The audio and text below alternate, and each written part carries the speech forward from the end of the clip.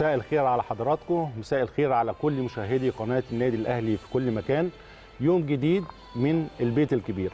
أكيد في البيت الكبير هنتكلم في موضوعات كتيرة جدا جدا مهمة وزي ما إحنا متعودين هنتابع الأخبار على الساحة الرياضية هنا في مصر والساحة العالمية. فإن شاء الله نستمتع بحلقة مميزة زي ما عودناكم دايما هنا في البيت الكبير. مساء الخير يا سهام مساء الخير يا كابتن هاني. مساء الخير على كل جمهور النادي الأهلي العظيم في كل مكان. أهلا بيكم حلقة جديدة من البيت الكبير. زي ما متعودين النهارده على مدار ثلاث ساعات هيكون في كلام مهم جدا. هنبدأ مع ضيوفنا. في البداية الأستاذ محمود صبري رئيس القسم الرياضي ومدير تحرير جريدة ال- الأهرام. هنتكلم هنفتح معاه طبعا عدة موضوعات. ده في الفقرة الأولى. الكابتن شريف عبد الفضيل نجم الأهلي ومنتخب مصر الأسبق أو السابق مشرفنا كمان النهارده في الفقرة الحوارية الرئيسية. لكن قبل ما نبدأ أخبارنا النهارده فقدنا واحد أهلاوي مخلص الحقيقة. واحد أهلاوي بذل مجهودات كبيرة جدا لم يبخل بأي شيء الحقيقة على النادي. آه، خدم الفريق الأول بمنتهى التفاني والإخلاص الحقيقة بشهادة جميع الناس اللي حواليه. وهو الكابتن عماد اليماني. كابتن عماد اليماني المدير الإداري السابق لفريق الأهلي واللي وفاته المنية النهارده. صباح اليوم طبعا إحنا بنقدم خالص تعزينا لاهله وأسرته ومحبيه. وإن شاء الله يلهم ذويه الصبر والسلوان. النهارده مجلس الإدارة إدارة النادي الأهلي بالكامل برئاسة كابتن محمود الخطيب كان بيقدم تعزيه لاسره الفقيد والحقيقة الكابتن عماد اليماني رحمة الله عليه زي ما كنا بنقول دلوقتي كان بيتمتع بعلاقات وطيدة مع الجميع بعلاقات فعلا مخلصة داخل النادي الأهلي سواء مع لعيبة جهاز فني أعضاء مجلس إدارة أو حتى على مستوى الأعضاء الحقيقة أعضاء النادي. فراجل لم يكل ولا يمل في خدمة ال- القلعة الحمراء أو النادي الأهلي. ربنا يرحمه ويصبر أسرته الصغيرة ويصبر أسرته الكبيرة. ربنا يرحمه طبعا كابتن عماد ال- اليماني. يمكن أنا من أحد الناس اللي يمكن كان عندي آه، علاقة طيبة جدا جدا من خلال وجودي في النادي الأهلي كلاعب آه، بنفتقد آه، رمز من رموز النادي الأهلي. ودايما أنا عندي مقولة إن دايما في جنود مجهولين بيقدموا تضحيات كتيرة جدا جدا للنادي الأهلي. يمكن آه، اسم الكابتن عمادي مش موجود أو ما حدش يفتكره لكن كلنا فاكرينه اللي داخل النادي الاهلي زي ما قالت سهام سواء لاعبين أو اداريين كابتن عماد اليماني من الناس اللي خدمت النادي الاهلي باخلاص على مر آه، على مر سنين طويلة جدا جدا. وأنا بشبهه كمان طبعا عم جمعة الله يرحمه كان المدير الاداري للنادي الاهلي كان على مر سنين طويلة. في ناس كده بتعيش وتموت داخل النادي الاهلي. كابتن عماد اليماني الله يرحمه النهارده كان خبر صادم لينا جميعا وبالأخص ليا لأنه كان شخصية آه، لا عمرك شفته على تلفزيون ولا عمرك شفته في حديث ولا عمره طلع عمل مشكلة بالعكس كان بيتفانى في عمله بشكل كبير جدا كان مخلص فعلا لكيان النادي الأهلي وبيحب النادي الأهلي جدا جدا كان غيور جدا على النادي الأهلي وما كانش فيه حد إذا كان لعيب أو حتى عضو في النادي غير لما لو عايز أي حاجة يروح للكابتن عماد اليماني بيتواجد من الصبح بدري لغاية بالليل آه، بيعتبر بيته هو بيت النادي الأهلي. فطبعا يعني خالص. زيه زي كل المخلصين. طبعا. آه. ودايما بقول الناس اللي الناس في ناس يعني اسم طبعا كابتن عماد اليماني طبعا جوه النادي الأهلي معروف لكن الجماهير ممكن صح. ما تعرفوش. آه، وأنا آه. ده بالنسبة لي بيكون دليل قاطع إن الناس ديت والرجالة ديت فعلا خدمت النادي الأهلي بدون دوشة بدون social media بدون آه، إعلام. فهم دول فعلا الناس اللي يستحقوا مننا كل الاحترام والتقدير. خالص تعزينا طبعا لاسره الكابتن عماد اليماني وإن شاء الله تكون آخر أحزانهم. وزي ما بقول فقدنا يعني أنا في رأيي رجل من الرجال يعني زي ما بيقولوا القليلون اللي مروا على الشكل الإداري أو الجهاز الإداري في النادي الأهلي. الله يرحمك يا كابتن عماد. صحيح صحيح. نبدأ ربنا أخبارنا؟ يرحمه. نبدأ نبدأ أخبارنا بقى وموضوع مهم جدا آه طبعا. يعني النهارده. كمان موضوع يعني موضوع كهرباء. يعني النهارده كان في موضوع يعني في النادي الأهلي قرر طبعا الكابتن سيد عبد الحفيظ مدير الكره في النادي الأهلي تو- توقيع غرامة كبيرة قدرها مليون جنيه على اللاعب محمود آه، كهرباء. آه، طبعا نظرا لبدر منه في مران الفريق اللي جرى صباح ال- ال- اليوم. حرص طبعا كهرباء بعد الانتهاء من التمرين والوصول لمنزله. العودة إلى مقر النادي مرة ثانية وقدم اعتذار للكابتن سيد عبد الحفيظ ومحمد الشناوي كابتن الفريق. كل ده كان في حضور طبعا الكابتن وليد آه، سليمان. آه، شدد طبعا على احترامه الكامل. كهربا بيقول أنا بحترم القواعد وال- والضوابط في النادي وبيقدر آه، كل منظومه العمل داخل الفريق سواء الجهاز الفني أو الجهاز الإداري أو حتى اللاعبين آه، بس لازم نقف عند الخبر ده شوية. يعني أنا دايما بوضح إن ال- الأمور ديت وأنا كنت لاعب في النادي الأهلي وكنت لاعب حتى في أوروبا المواضيع ديت بتحصل كتير جدا. مشادات بين اللعيبة آه، مشادات آه، داخل غرف الملابس. يعني كل ده وارد وكل ده بيحصل. واللي عجبني في الأمر إن القرار طلع سريعا. مجرد وجود مخالفة داخل غرف الملابس كان الكابتن سيد عبد الحفيظ متواجد وبي يعني أنا شايف إن غرامه غرامة كبيرة ولكن طالما أنت بتشتغل وموجود في بيت كبير زي مم. النادي الأهلي لازم تكون الغرامة كبيرة فعايز أقول لكم إن طبعا في بعض الناس وبعض وسائل الإعلام وال social media ممكن جدا تكبر الموضوع وتدخل خلافات والموضوع يتفرع منه مشاكل تانية يعني كلنا عارفين القصة ديت وكلنا خلاص الأسابيع الأخيرة حاسين باللي بيحصل بشكل كبير جدا. لكن أنا من موقع مسؤوليتي طبعا هنا في البيت الكبير في النادي الأهلي لازم أقول آه كان في خطأ. كان في خطأ اتنين لعيبة بيشدوا مع بعض آه، المدير مدير الفريق دخل آه، قال أنت عليك غرامة كان في اعتذار واضح من كهربا مش بس للشناوي لكن لكل المنظومة للكابتن سيد للاعبين للجهاز الإداري والجهاز الفني لكل الناس. كان في غرامة اللاعب آه، قبل الغرامة. الموضوع بالنسبة لنا خلص وبدأ يعني خلاص نركز على مباراة آه، وادي دجلة. فمش انتظروا وأنا بقول لكم انتظروا بقى شوية إشاعات انتظروا مخ- خلافات جوه غرف الملابس في النادي الأهلي. لكن كل دوت إحنا خلاص اتعودنا عليه خلال الفترة اللي فاتت. ولكن إحنا زي ما بقول دايما هم يتكلموا وإحنا ماشيين في طريقنا زي ما إحنا. في نقطتين. آه في خطأ حصل زي ما أنت قلت. آه في خطأ حصل. آه، اتلم الموضوع وبسرعة وطبعا ما ينفعش كان اللي يحصل وكابتن كهربا طبعا يعني أبدى اعتذاره وكذا. لكن ال- ال- المهم هنا موضوع الشائعات وإن المواضيع الصغيرة بتكبر. واحيانا أنا دايما دي كلمتي إنه أحيانا ساعات بيبقى فيه دخان بلا نار. مش قصدي في موضوع كه- كهرباء يعني دايما الدخان بلا نار بقينا بنشوفه لأنه في مواقع اتصال كتيرة جدا فأنت ما بقتش عارف مين مع مين. ويمكن موضوع الشائعات ده هياخدني للي حصل مع اليو ديانج بالظبط. لما قال لك سافر وما رجع. و- هرب يعني، وهرب هرب. وعمل مش الراجل صور فيديو بنفسه وطلع بنفسه ونفى الشائعات وأكد إنه تواجده في التدريبات هيكون قريب جدا. فاحنا عايزين نفرق بين آه ممكن أي اتنين يتخانقوا يعني ما يعني كل الناس بيحصل لها كده وكل الناس بتشد لكن أكبر بقى الموضوع ومش عارف إيه وده تكتب وده قال له كذا وده. رد على- كأنهم في أوضة اللبس خلي سوا بالك خلي بالك كمان اللي بيحصل كمان يعني أنا آه. يعني الكلام ده كان بيحصل حتى في أوروبا يعني مم. الناس ما تفتكرش إن أوروبا هي العالم المثالي لا إحنا كلاعبين كنت ساعات كنت؟ عشت أكيد، أنا عشت أكيد. الكلام دوت وكان مم. آه ممكن جدا نرفزة ملعب في تمرينه على فكرة ممكن يبقى في تقسيمة في ماتش ولا حاجة وممكن يحصل حاجة فيكلموا مع بعض أوضة اللبس يعني هو ده ده, ده كرة القدم ده من من من الحاجات اللي واردة والناس اللي فاهمة كورة أو لعبة كورة بتفهم الكلام اللي بقوله المشادات ديت لكن الأهم من كده إن بيكون في قرار وقرار صارم والأهم من. كده. إن يكون في احترام للقرار. لأن في بعض ال... بعض الأندية الأخرى أو بعض اللاعبين لأ ومش ه... لأ آه، كهربا امتثل لل... للقرار.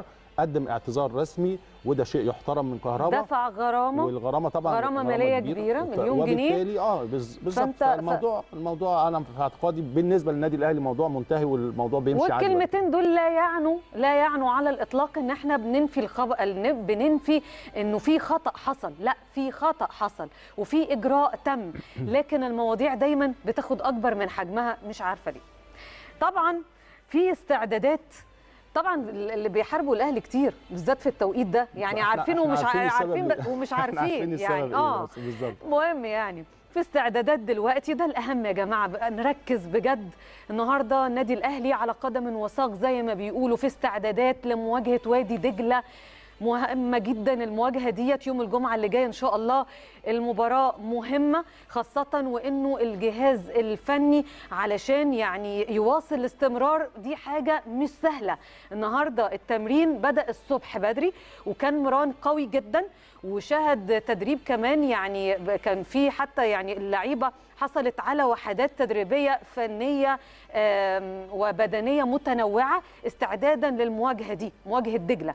الفريق زي ما إحنا عارفين وقلنا امبارح استأنف تدريباته بعد الراحة السلبية اللي منحها ليهم فايلر. حصلوا على راحة لمدة 48 ساعة وبعد ما فزنا على المصري بهدفين مقابل لا شيء. الأهلي بيعتلي صدارة الدوري برصيد 62 نقطة بعد ما فاز على المصري بهدفين دون رد.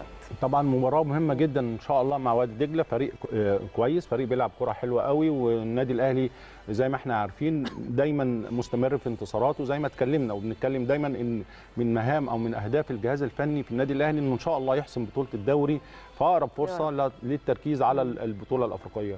النهارده برضو فايلر جلسات مستمرة. بصراحة الراجل بيشتغل على الجلسات إذا كانت جلسات فنية. النهارده بيقعد مع الجهاز الفني وبيقعد مع اللعيبة وأعتقد إنه كمان فرق على مستوى الأداء إن شاء الله فرق إلى حد ما أفضل من المباريات اللي فاتت. شفنا المباراة اللي فاتت على المستوى الفني أفضل. كان طبعا قعد مع الجهاز المعاون مع اللاعبين قبل انطلاق المران النهارده الصبح على ملعب مختار التتش بالجزيرة. شهدت الجلسة الحديث عن بعض الأمور الفنية الخاصة لتحضير مباراة وادي دجلة إن شاء الله اللي هتقام يوم الجمعة اللي جاية في مسابقة الدوري الممتاز. إن شاء الله الفريق هيدخل معسكر بكرة الخميس بإذن الله. معسكر طبعا مغلق عشان استعدادا لمباراة وادي دجلة اللي هتكون زي ما قلت مباراة مش سهلة مباراة صعبة لكن دايما وادي دجلة بيلعب كرة حلوة والنادي الأهلي بيحب الفرق اللي بتلعب مفتوح وبتلعب كرة حلوة وإن شاء الله نشوف مباراة جيدة على المستوى الفني وعلى مستوى النتيجة وخلينا كمان أقول لك يا سهام إن من الحاجات اللي أنا مبسوط بيها ويمكن بايلر طلبها إن يكون في جهاز دكتور نفسي والدكتور النفسي طبعا مهم. يعني آه طبعا مهم, مهم. خلي بالك آه. يعني الناس بتاخدها بضحك يا دكتور نفسي خلي بالكم يا جماعة ال- الكلام اللي بقوله ده موجود في في أوروبا بشكل أساسي بس دي جديدة صح؟ لا مش يعني جديدة لا خالص لا لا أنا بتكلم في مصر آه، لا في مصر الموضوع هو جديد يعني إن أنت بتستعين بدكتور نفسي مش مجرد بس جهاز فني أو لا بره آه الدكتور النفسي ده جزء من الأجهزة الفنية ده جزء مهم جدا وموجود مم. فإن بايلر يقول الكلام ده صح. بناء آه. على طبعا الراجل عايش مم. التجربة بره وأنا عشت التجربة دي بره إن في فعلا يعني دكتور نفسي مش معنى دكتور نفسي إن الناس بتاخدها آه يا عم ده اللعيبة مجان لأ خالص. عملية التوتر وعملية الضغط على اللاعبين وإحنا دلوقتي بنتكلم في ضغوط كبيرة جدا جدا على اللاعبين وعلى الأجهزة الفنية. بنشوف دور ال- ال- ال- الدكتور ال- أو الأخصائي النفسي دوره مهم جدا على مستوى الفردي وعلى المستوى الجماعي. بره بيقعد مع مجموعة من اللعيبة اتكلموا إيه مشاكلكم بيقعد على المستوى الفردي مع بعض اللاعبين حتى على مستوى المشاكل الأسرية ممكن صح. يكون لعيب. بيتأثر اسريا عنده مشكلة بره المستطيل الأخضر ده أكيد لازم يتحل ويتصفى على أساس يبقى اللعيب لما بيخش أرض الملعب بيبقى تركيزه مليون في المية آه. في كرة ال- القدم فده مهم آه. جدا مم. وفايلر طلب الكلام دوت وإن شاء الله نشوف الكلام دوت موجود في النادي الأهلي لأن أنا أعتقد زي ما قلت لك يا سهام الضغوط كتيرة جدا وخاصة في الأجواء اللي إحنا بنعيشها دلوقتي بالنسبة للاعبين الانتقالات الضغط ال social media فلازم يكون في اتزان نفسي زي ما بنتكلم على الاتزان ال- على القوة البدنيه طبعا معينة طبعاً، بتتوجه طبعاً. للعيبة دول ويعني ال- والحقيقة ده المفروض على فكرة يتم في كل الفرق عارف كلامك ده. فكرني بمين بكابتن علاء نبيل وانت لما كنت بتتكلموا عن كابتن جوهري ربنا يرحمه. وهو بالمناسبة أسطورة الأهلاوية النهارده في آخر الفقرة دي. بس فاكر لما كنت بتقول جالي المطار مخصوص علشان يسلم عليا؟ ومش عارف مين زعلان يروح له مين مش عارف إيه بيشتري له إيه ومين يعني ده ده كان موجود بس اختفى فترة كابتن هاني اختفى فترة طويلة جدا إن إحنا نعيد إحيائه مرة تانية ده شيء مهم آه بالذات. في الفترة دي آه، الله يرحمه كابتن في جوهري الوقت ده أصعب بكتير آه من اللي كان فانا بقول أنا بحترم على جدا كابتن آه جوهري. بحترم آه. طبعا قرار فايلر وإن شاء الله نشوف المنظومة ديت مك- مكتملة إن شاء الله في في النادي الأهلي وده هيحل كتير جدا من المشاكل اللي ممكن حتى نشوفها في ال dressing room ممكن كل ده يتحل من خلال وجود أخصائي نفسي أو دكتور نفسي موجود في الجهاز الفني للنادي الأهلي. نروح بقى للإصابات ها؟ واللي, واللي بيعاني منه أو كان بيعاني منه عمرو السولية اللي كلنا طبعا زعلنا علشان إصابته دي النهارده بيواصل مستمر في مواصلة برنامجه التأهيلي للتعافي من الإصابة اللي تعرض ليها في العضلة الأمامية. وطبعا دي الإصابة اللي تعرض لها في مباراة المصري الأخيرة وفي فوزنا زي ما قلنا بهدفين. آه كمان عمرو السولية آه أدى النهارده جلسة علاج طبيعي وكان في تأهيل في الجيم وده على هامش مران التمرين النهارده اللي كان الصبح. السولية ربنا يشفيك. واحد من أهم الأعمدة الأساسية اللي بيعتمد عليها فايلر المدير الفني للأهلي وكمان المنتخب الوطني بقيادة حسام البدري طبعا. والحقيقة إنه كابتن سولية في الموسم ده أدى أداء رائع ومتميز جدا على المستوى الفني وعلى المستوى البدني.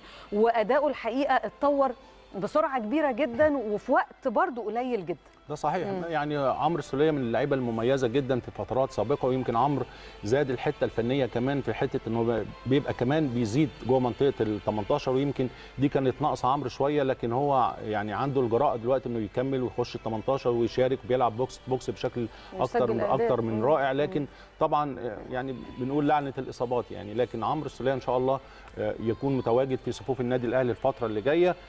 طبعا لاستكمال المشوار المحلي والمشوار الأفريقي.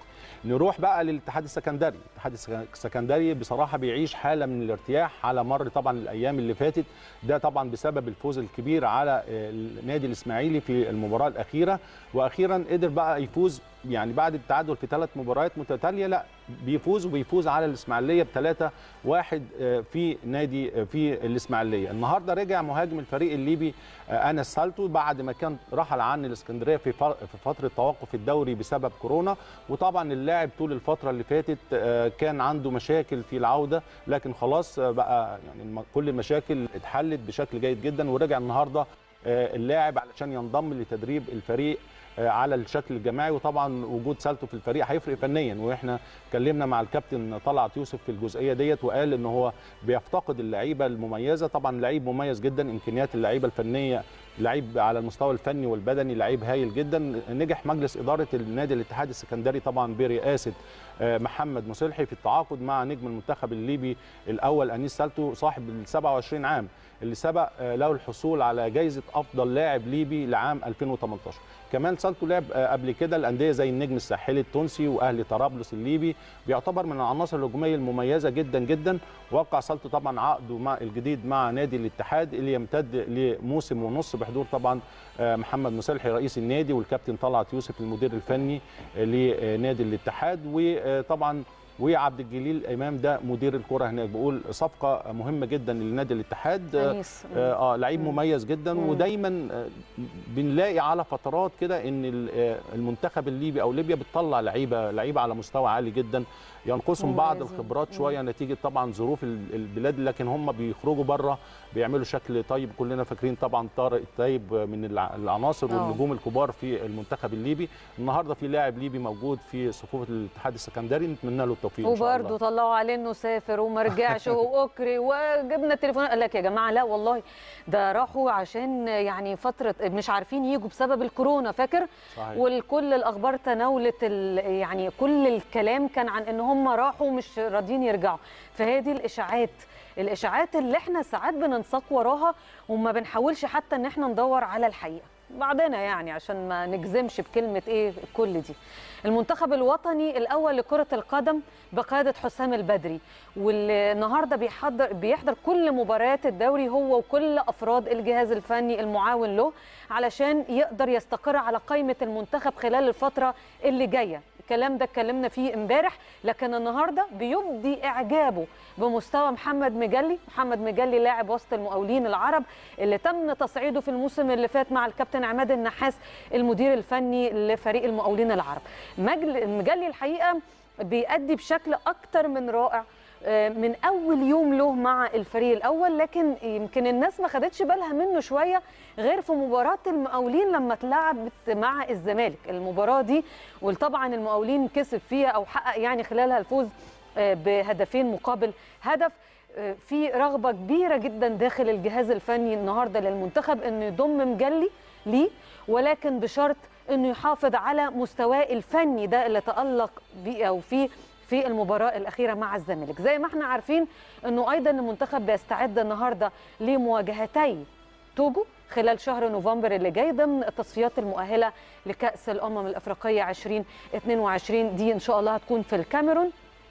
وده في الوقت اللي الجهاز الفني للمنتخب طلب إن يكون السفر لتوجو بطيارة خاصة علشان راحة اللعيبة تكون يعني بشكل أكبر أو بشكل أفضل يعني لا ده. طبيعي مم. طبعا كل التوفيق لمنتخبنا وشيء جيد جدا كمان إنه توسيع قاعدة الاختيارات يعني كابتن حسام وجهازه الفني حريصين طبعا على متابعة الدوري وكمان في الملعب وكمان إنه يقع الاختيار أو مركزين مع أحد اللاعبين يمكن اللي برز خلال الفترة اللي فاتت آه، يعني مجلي من اللعيبة المميزة في وسط الملعب بيلعب في نادي المقاولين لعيب مميز جدا. فتوسيع قاعدة الاختيارات خارج طبعا النادي الأهلي ونادي الزمالك طبعا معظم الاختيارات منهم لكن لما كمان يتم اختيار من المقاولين والمصري وسموحة ودجلة أعتقد ديت كمان بتدي حوافز للعيبة إنها تقدم مردود أفضل. وإن شاء الله كل التوفيق للكابتن حسام البدري وجهازه الفني المعاون إن شاء الله في المباريات القادمة المهمة جدا للوصول إن شاء الله للكاميرون أو أكيد الوصول لكأس العالم اللي جاي. طب في الإسماعيلية طبعا في مجهودات كبيرة جدا جدا من مسؤولي النادي علشان يتم حسم التجديد للاعب وسط الملعب آه، آه، التونسي فخر الدين بن يوسف. فخر الدين بن يوسف طبعا عارفين هو أحد الأعمدة الأساسية للفريق منذ انضمامه لقلعه الدراويش من يناير الماضي على سبيل الإعارة لمدة ست شهور. عرفنا إن بن يوسف طلب إنه يوقع عقد جديد مع الإسماعيلي لكن لمدة شهر شهرين بس يعني بحيث يكون الفريق انتهى من مباريات الدوري الممتاز وكمان البطولة العربية. طبعا عارفين الإسماعيلي وصل للدور قبل النهائي في البطولة العربية. فخر الدين بن يوسف كمان طلب توقيع عقد جديد لمدة شهرين مقابل مادي منفصل عن قيمة إعارته الأولى للموافقة للاستمرار مع الفريق لنهاية الموسم الحالي وخوض مباريات المتبقية للفريق في المسابقة المحلية.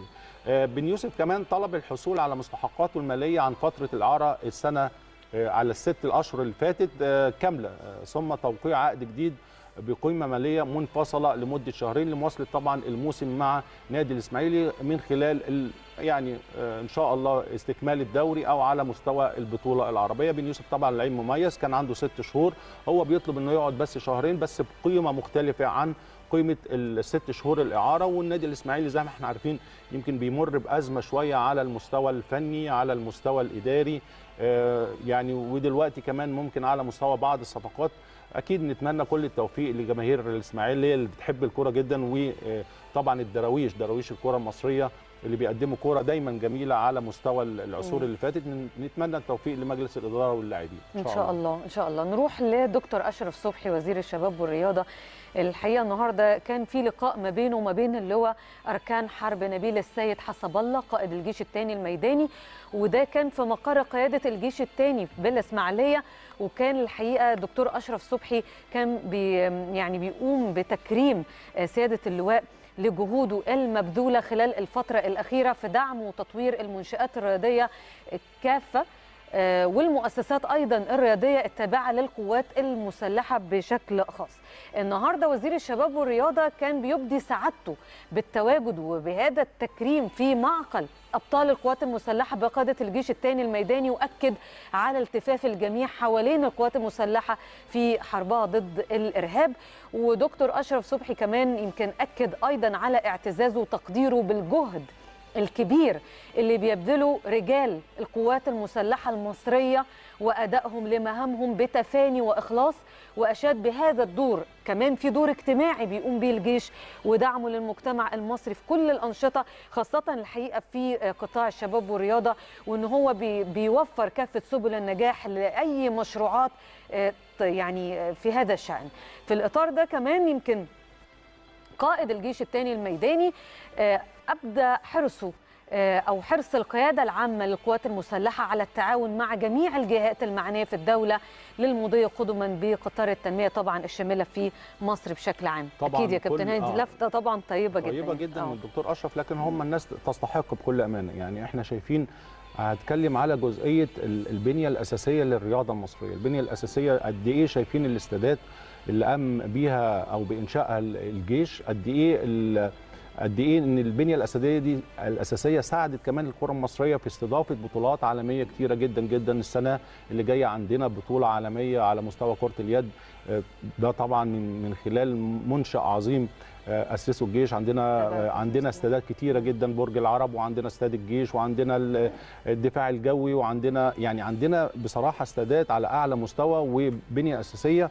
أعتقد ال- ال- الجيش يعني يعني كل التحية وكل التقدير الناس بتشتغل في محاور كتيرة جدا على المستوى الاجتماعي وعلى المستوى السياسي وعلى المستوى العسكري وعلى المستوى الرياضي. فأعتقد ده يعني الدكتور أشرف التنموي والتنمية البشرية يعني في حاجات كتيرة جدا الحقيقة والدكتور أشرف طبعا مم. صبحي كمان حاسس بدوت وبيقوم بدور أكتر من رائع فكل التحية طبعا لجيشنا العظيم وإن شاء الله دايما مصر في تقدم من خلال جيشنا ومن خلال شعبنا ومن خلال شرطتنا ومن خلال طبعا الإدارة السياسية وإن شاء الله دايما للأفضل ودايما للأحسن بإذن الله طيب كده خلصت أخبارنا المحلية ونروح للأخبار العالمية والبداية مع برشلونة. في كلام كتير قوي النهارده في الصحافة الإنجليزية عن الهولندي جورجينيو فينالدو ده لاعب خط وسط ليفربول وإنه قريب جدا من برشلونة. الإدارة النهارده في البارسا نفت إنه يكون فينالدو في أولوياتهم أصلا. برغم من الصحف الأجنبية أو الإنجليزية تحديدا كتبته عنه. طبعا في هنا هيكون في ربط يعني كتير وإشاعات يعني عن اللعيبة الهولنديين بعد ما تولى كومان تحديدا تدريب برشلونة لكن لسه ما فيش يعني أي جديد في صفقات برشلونة ولو إنه وبرضه تردد اسم ساديو ماني الفترة اللي فاتت عن إنه هيحتل مكان أو مركز ميسي لكن لكن, لكن لسه بيربطوا بيربطوا أي لعيب مميز دلوقتي هولندي آه. طبعا بكومان إحنا عارفين كومان طبعا اللاعب الشهير لعب على مستوى المنتخب الهولندي وهو يلعب في برشلونة. يمكن ساب المنتخب الهولندي ومسك برشلونة في ظروف صعبة جدا. فأي لعيب هولندي مميز هو كان كمان قال هيستعين ببعض اللعيبة الهولندية ليخشوا في صفوف برشلونة. هتفضل كده كتير هتفضل كده. آه الأمور الأمور دي. لسه ما اتحسمتش بشكل كبير لكن هو كمان بيمر أعتقد بأزمة تكوين الفريق. يعني مم. تكوين الفريق إحنا عارفين برشلونة استغنى على عدد كبير من اللعيبة إنه يكون فريق بنفس القوة وبنفس ال الكفاءة الفنية أيوة. ده ده بيبقى شيء صعب ولكن هو شغال عليه لكن طبعا في أمور كلنا عارفينها ميسي هيقعد ولا مش هيقعد يمكن الخبر اللي معاك اللي جاي هنتكلم عليه بالتفصيل. تمام. النهارده كمان آه خبر متعلق باللي قبليه النهارده خورخي والد ليونيل ميسي وصل برشلونة مع وكيل أعماله النجم الأرجنتيني. والده هو وكيل أعمال ميسي. لما اتسأل عن احتمالية بقاء ميسي في برشلونة قال صعب. لما اتسأل عن لو كان تواصل مع جوارديولا قال لا جوارديولا ولا غيره. طيب هيروح مانشستر سيتي؟ قال ما أعرفش. وكرر كلمة الوضع صعب كررها يمكن في أكتر من جملة. هيكون في جلسة إن شاء الله الوالد ميسي مع بارتوميو رئيس برشلونة وهنشوف إيه اللي هيحصل. يعني كلها تكهنات وما نقدرش نجزم في الفترة دي بالذات. يعني إيه اللي ممكن يتم و... لسه الاجتماع خلصان من من دقايق شوية صحيح. من شوية. وقالوا إن فعلا الاجتماع مع يعني لمدة ثلاث دقايق ما ما ما كترش حتى والد ميسي حتى ما علقش. هو رئيس رئيس نادي برشلونة قال له إحنا لن نتنازل عن ميسي ميسي موجود وما فيش تفاوض أصلا إن إحنا نبيع اللاعب وحتى ما استناش رد من والد. ميسي ما استناش رد والاجتماع استمر بس ل 30 ثانية. فإحنا زي ما بنقول لسه علامة استفهام موجودة بقاء ميسي في برشلونة أو انتقاله للمان سيتي أو أي أي نادي أوروبي. فكل دي علامات استفهام أكيد هتبان خلال في. تفاقم يا آه يعني, في- لسه آه. هو أنا في اعتقادي الشخصي هو عامل عامل ال- ال transfer. transfer لو في 700 مليون آه، يورو transfer؟ آه شرط جزائي. أعتقد ممكن الأمور تبقى صعبة للمان سيتي اللي هو لمح لمح بكده في بعض التصريحات إنه. من الصعب ان يدفع المبلغ يدفع الكبير المبلغ ده. الكبير ده لكن آه. لو طبعا تر- transfer free أكيد المان سيتي هيتعاقد بسرعة جدا مع ميسي وبعدين هو النهارده عنده كام سنة 33 آه، 33 33 34 آه يعني لاعب كمان مش صغير يعني ف فال... أنت هتقضي كام سنة مع مانشستر آه لكن يعني هم ال- الصف اللعيبة الكبار زي رونالدو رونالدو انتقل برضه وهو. كان سنا كبير. لكن دول ليهم وضع خاص وعلى المستوى العالمي ليهم ليهم آه، يعني أجور خاصة و sponsor هو بيني وبينك ف- يحق له آه يعني. طبعا. يعني آه، ميسي لو عنده 60 سنة ممكن يلعب كرة تاني أنا موافقة. طيب نروح بقى للإيفواري سيرجي اوريه آه، ظهير توتنهام. وهو الحقيقة يعني خلاص ده الهدف القادم لنادي ميلان الإيطالي بس المفاوضات وقفت. الصحافة الإنجليزية كشفت إنه ميلان عرض ال- اللاعب ولسه دلوقتي لحد دلوقتي في مفاوضات لكن برضو ما نقدرش نجزم إنه معاهم مش معاهم برضو لسه أمره لم يحسم بعد لسه في جدل يعني لسه طبعا في آه. جدل أكيد آه، لكن آه، الماركاتو دايما ماركاتو ال- ال- ال- الأوروبي بيبقى ساخن جدا جدا في مفاجآت. الصيد بيبقى آه. في مفاجآت ويبقى العروض بتبقى بتنهال بشكل كبير على اللعيبة المميزة جدا. عندنا خبر كمان لباريس سان جيرمان باريس سان جيرمان بطل فرنسا أعلن بعض مصادر الإعلامية في باريس سان جيرمان إصابة ثلاث لاعبين من باريس سان جيرمان بفيروس كورونا رغم عدم إعلان النادي رسميا. فدوت كمان خبر بيقول إن برشو إن باريس سان جيرمان عنده ثلاث لعيبة عندهم فيروس كورونا. النادي ما أعلنش الكلام دوت. منهم وقالوا منهم نيمار كمان. نيمار من ضمن اللعيبة اللي قالوا ان هو عنده فيروس كورونا. نشوف تقارير ونرجع نكمل مع حضراتكم.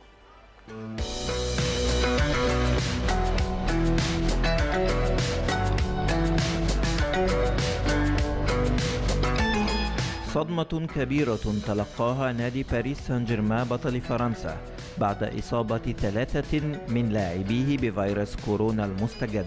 ورغم عدم إعلان باريس سان جيرمان في بيانه أسماء الثلاثي المصاب إلا أن راديو مونت كارلو أعلن إصابة الثنائي أنخيل دي ماريا وليوناردو باريدس وأعلنت صحيفة ليكيب الفرنسية أن نيمار هو الثالث بين المصابين وسيواصل باريس سان جيرمان الفحوصات على كل عناصر منظومة فريق كرة القدم. ومن المتوقع أن يفقد جهود نيمار ودي ماريا وباريدس أمام لانس في الدوري الفرنسي.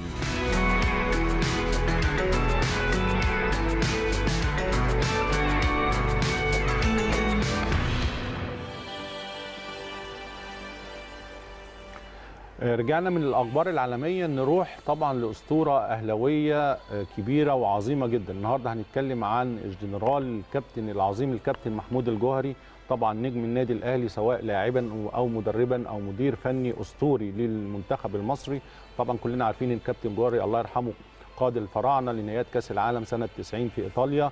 وأنا على المستوى الشخصي يعني طبعا ابن من أبناء الكابتن محمود الجوهري. بكرة طبعا ذكرى وفاته. فأسطورة أهلاوية عظيمة رجل عظيم قدر يعني نقول من أعظم المدربين في الكرة المصرية على مر العصور الكابتن محمود الجوهري. رحمه الله. بكرة طبعا الذكرى رحيله وطبعا أسطورة كمان من أساطير النادي الأهلي بتاعه. صحيح ربنا يرحمه. أسطورة مصرية رائعة قدمت الكثير الحقيقة للكورة والكرة المصرية الحقيقة بشكل خاص يعني. وإحنا بنفتكره في اللحظة ديت ويعني بنترحم عليه ونقرأ له الفاتحة.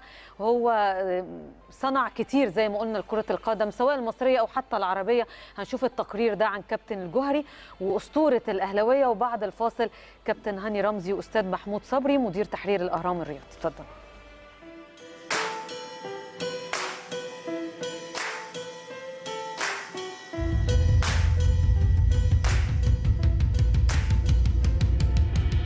جوهري جوهري واحد من أشهر الهتافات في تاريخ الكرة المصرية والذي ارتبط بأحد أبرز نجوم التدريب في تاريخ المنتخب المصري والنادي الأهلي. إنه الجنرال محمود الجوهري نجم النادي الأهلي الراحل لاعبا ومدربا والمدير الفني الأسطوري للمنتخب المصري الذي قاد الفراعنة لنهائيات كأس العالم عام 1990 في إيطاليا. ولد محمود يوسف نصير الجوهري في العشرين من فبراير عام 1938 في منطقة حلوان وعشق كرة القدم منذ سنوات عمره الأولى. وانضم لصفوف الناشئين في القلعة الحمراء وتألق فيه إلى أن تم تصعيده لصفوف الفريق الأول عام 1955 وظل في الأهلي لأكثر من عشرة مواسم إلى أن أجبرته الإصابة على الاعتزال في موسم عام 1965 1966 حيث كانت المباراة الأخيرة له أمام الإسماعيلي في أكتوبر عام 1965 وخلال مشواره مع الأهلي تألق الجوهري في مركز رأس الحربة والجناح الهجومي وخاض مع المارد الأحمر 80 مباراة وسجل 37 هدفا في 28 مباراة. بواقع 31 هدف في بطولة الدوري الممتاز وستة أهداف في كأس مصر. وجاء أول هدف له في الحادي والعشرين من أبريل عام 1956 والأخير في الثامن عشر من أكتوبر عام 1963 أما أكثر الفرق التي سجل في شباكها فهو السكة الحديد بواقع سبعة أهداف. خلال مشواره كلاعب ساهم في تتويج الأهلي بالدوري الممتاز ست مرات وكأس مصر أربع مرات وبطولة الجمهورية المتحدة عام 61 ودوري منطقة القاهرة عام 58 وعقب الاعتزال فتح الجوهري صفحة جديدة من التوهج ما وضعه بين عظماء مدربي العالم. وكانت البداية في ناشئي الأهلي ثم عمل مساعدا للكابتن عبد صالح الوحش ثم مدربا لفريق الأمل موسم 74 75 ثم رحل للخليج لتدريب فريق اتحاد جدة السعودي ثم عاد للأهلي من جديد مديرا فنيا خلال موسمي. 82 83 و 83 84 حقق خلالها أول لقب إفريقي للفريق عام 1982 عندما توج المارد الأحمر بدوري أبطال إفريقيا على حساب أشانتي كوتوكو الغاني للخطيب والخطيب يرقص واحد واتنين وهيجيب جول! يا جول! جول! جول! جول! جول! جول! جول! التعادل للخطيب! كما قاد الفريق للفوز بكأس مصر عامي 83 و 84 تولى تدريب الأهلي من جديد في عام 1985 وقاد الفريق للفوز بكأس مصر كما احتفظ بكأس الكؤوس الإفريقية على حساب بطل نيجيريا. وبشكل عام في هذه المواسم الثلاثة قاد الفريق في 106 مباراة منها 66 مباراة في الدوري و12 مباراة في الكأس و28 مباراة إفريقية. حقق الفوز في 69 مباراة وتعادل في 12 منها. أما على صعيد منتخب مصر فقد تولى تدريبه في أربع ولايات الأولى عام 1988 ونجح في الصعود لكأس العالم بإيطاليا بعد غياب 54 عاما على حساب الجزائر. لسه كرة في الملعب وكرة عالية.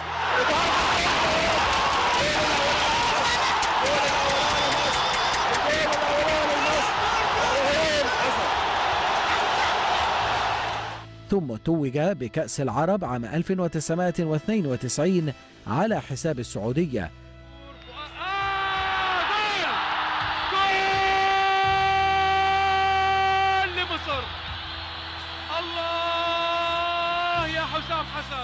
كما توج ببطولة الأمم الإفريقية عام 1998 ببوركينا فاسو. وكان قد تولى تدريب المصري البورسعيدي قبل انطلاق موسم 91-92 لكنه استقال وعاد لتدريب المنتخب الأول في ولايته الثانية حين ذاك. اختتم مشواره التدريبي مع منتخب الأردن مديرا فنيا ثم مشرفا على المنتخبات الأردنية ومخطط للكرة الأردنية ثم مستشارا فنيا لاتحاد الكرة المصري قبل أن يعود من جديد للأردن حتى وافته المنية في الثالث من سبتمبر عام 2012 عن عمر ناهز 74 عاما. وسيذكر التاريخ دائما لابن الأهل البار وجنرال الكرة المصرية الخالد أنه أسس عام 1990 نظام الاحتراف في مصر وشجع بعض اللاعبين المصريين على خوض تجربة الاحتراف في أوروبا وعلى رأسهم هاني رمزي وأحمد حسن. ليفتح آفاقا جديدة أمام اللاعبين المصريين ويقنن حركة انتقال اللاعبين إلى أوروبا بدلا من انتقال المواهب مجانا دون استفادة الأندية منهم.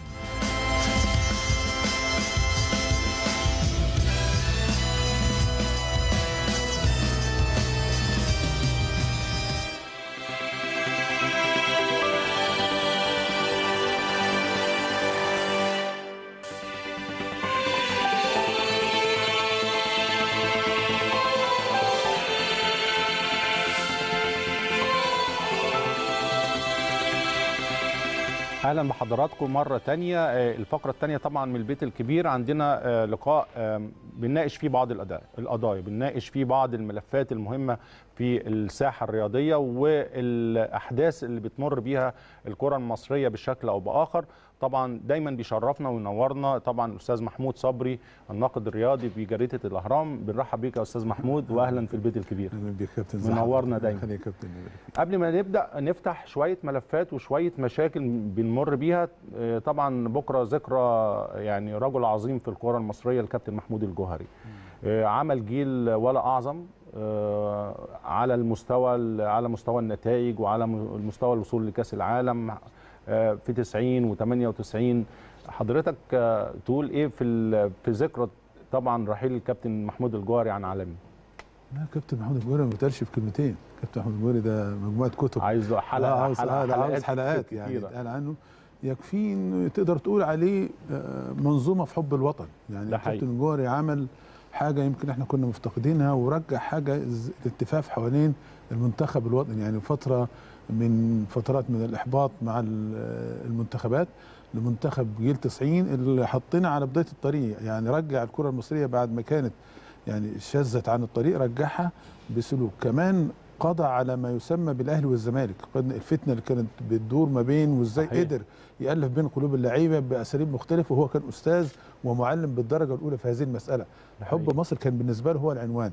والتأهل لكأس العالم كان نتيجة التألف والارتباط اللي وصل والعلاقة المتميزة بين مجموعة من اللاعبين وبين مدرب أحبوه واخلصوا للبلد فكان نتيجة الوصول إنه اتحطينا على مرحلة بداية تاريخ في 17 نوفمبر 89 هو الفوز على منتخب الجزائر الشقيق في مباراة من المباريات المرعبة في تاريخ كرة القدم المصريه كابتن الجوهري حدوتة آه، بأمانة شديدة كبيرة يعني مجموعة مدربين كوكتيل في بعض كده من مدرب لمهندس لمعلم لطبيب نفسي لكل يعني مش عاوز في تفاصيل يقدر يحكي عنها كثير من اللاعبين إزاي ارتبط بيهم إزاي عاش معاهم يعني مشاكلهم إزاي قدر يطلعهم ويحل. من غير ما حد يشعر. لا كان في حاجة كده. كابتن جوهري أنا آه،. طبعا يعني أنا يعني زي ما حضرتك بتقول لو اتكلمنا على الكابتن جوهري عايزين حلقات ولا حلقات كتيرة لك- لكن أنا على المستوى كمان شخصي هتكلم بعيد عن الكورة وبعيد عن عمل المعادلة الصعبة جدا إن هو طبعا كل الناس بتحترمه وبتحبه وبتخاف منه.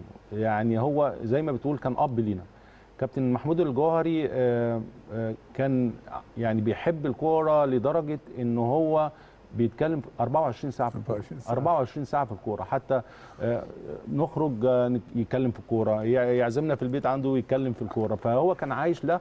وكان محب لمصر جدا جدا جدا. وكان عنده نوع من أنواع هو طبعا بيحفز بشكل أكتر من رائع ودايما كان حاطط صورة مصر قدامه مدرسة دايما في حاطط مدرسة في الجزئية دي. آه مدرسة طبعا مدرسة، آه. كبيرة جدا جدا في جزئية التحفيز طبعا. وإن هو بيتكلم وعمل حاجة كويسة فتح ووسع قاعدة اختيارات ما بقتش أهلي وزمالك بس طبعا طبعا. وعمل نجوم كبار يعني على مستوى مش عايز أقول أسماء عشان ما انساش آه، حد طبعاً، لكن طبعاً.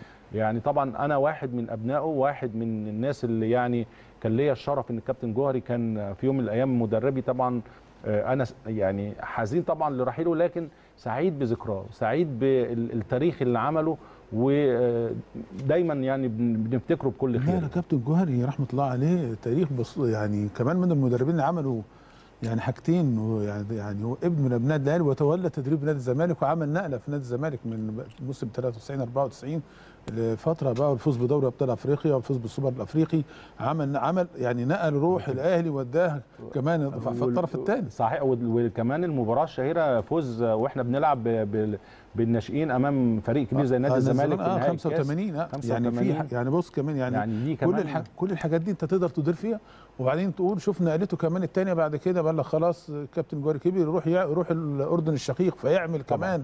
حاجة مهمة جدا والالتفاف والملك وشغلانة والوصول لدور الثمانيه في كأس آسيا في مباراة من يعني المباريات الكبيرة جدا أمام اليابان.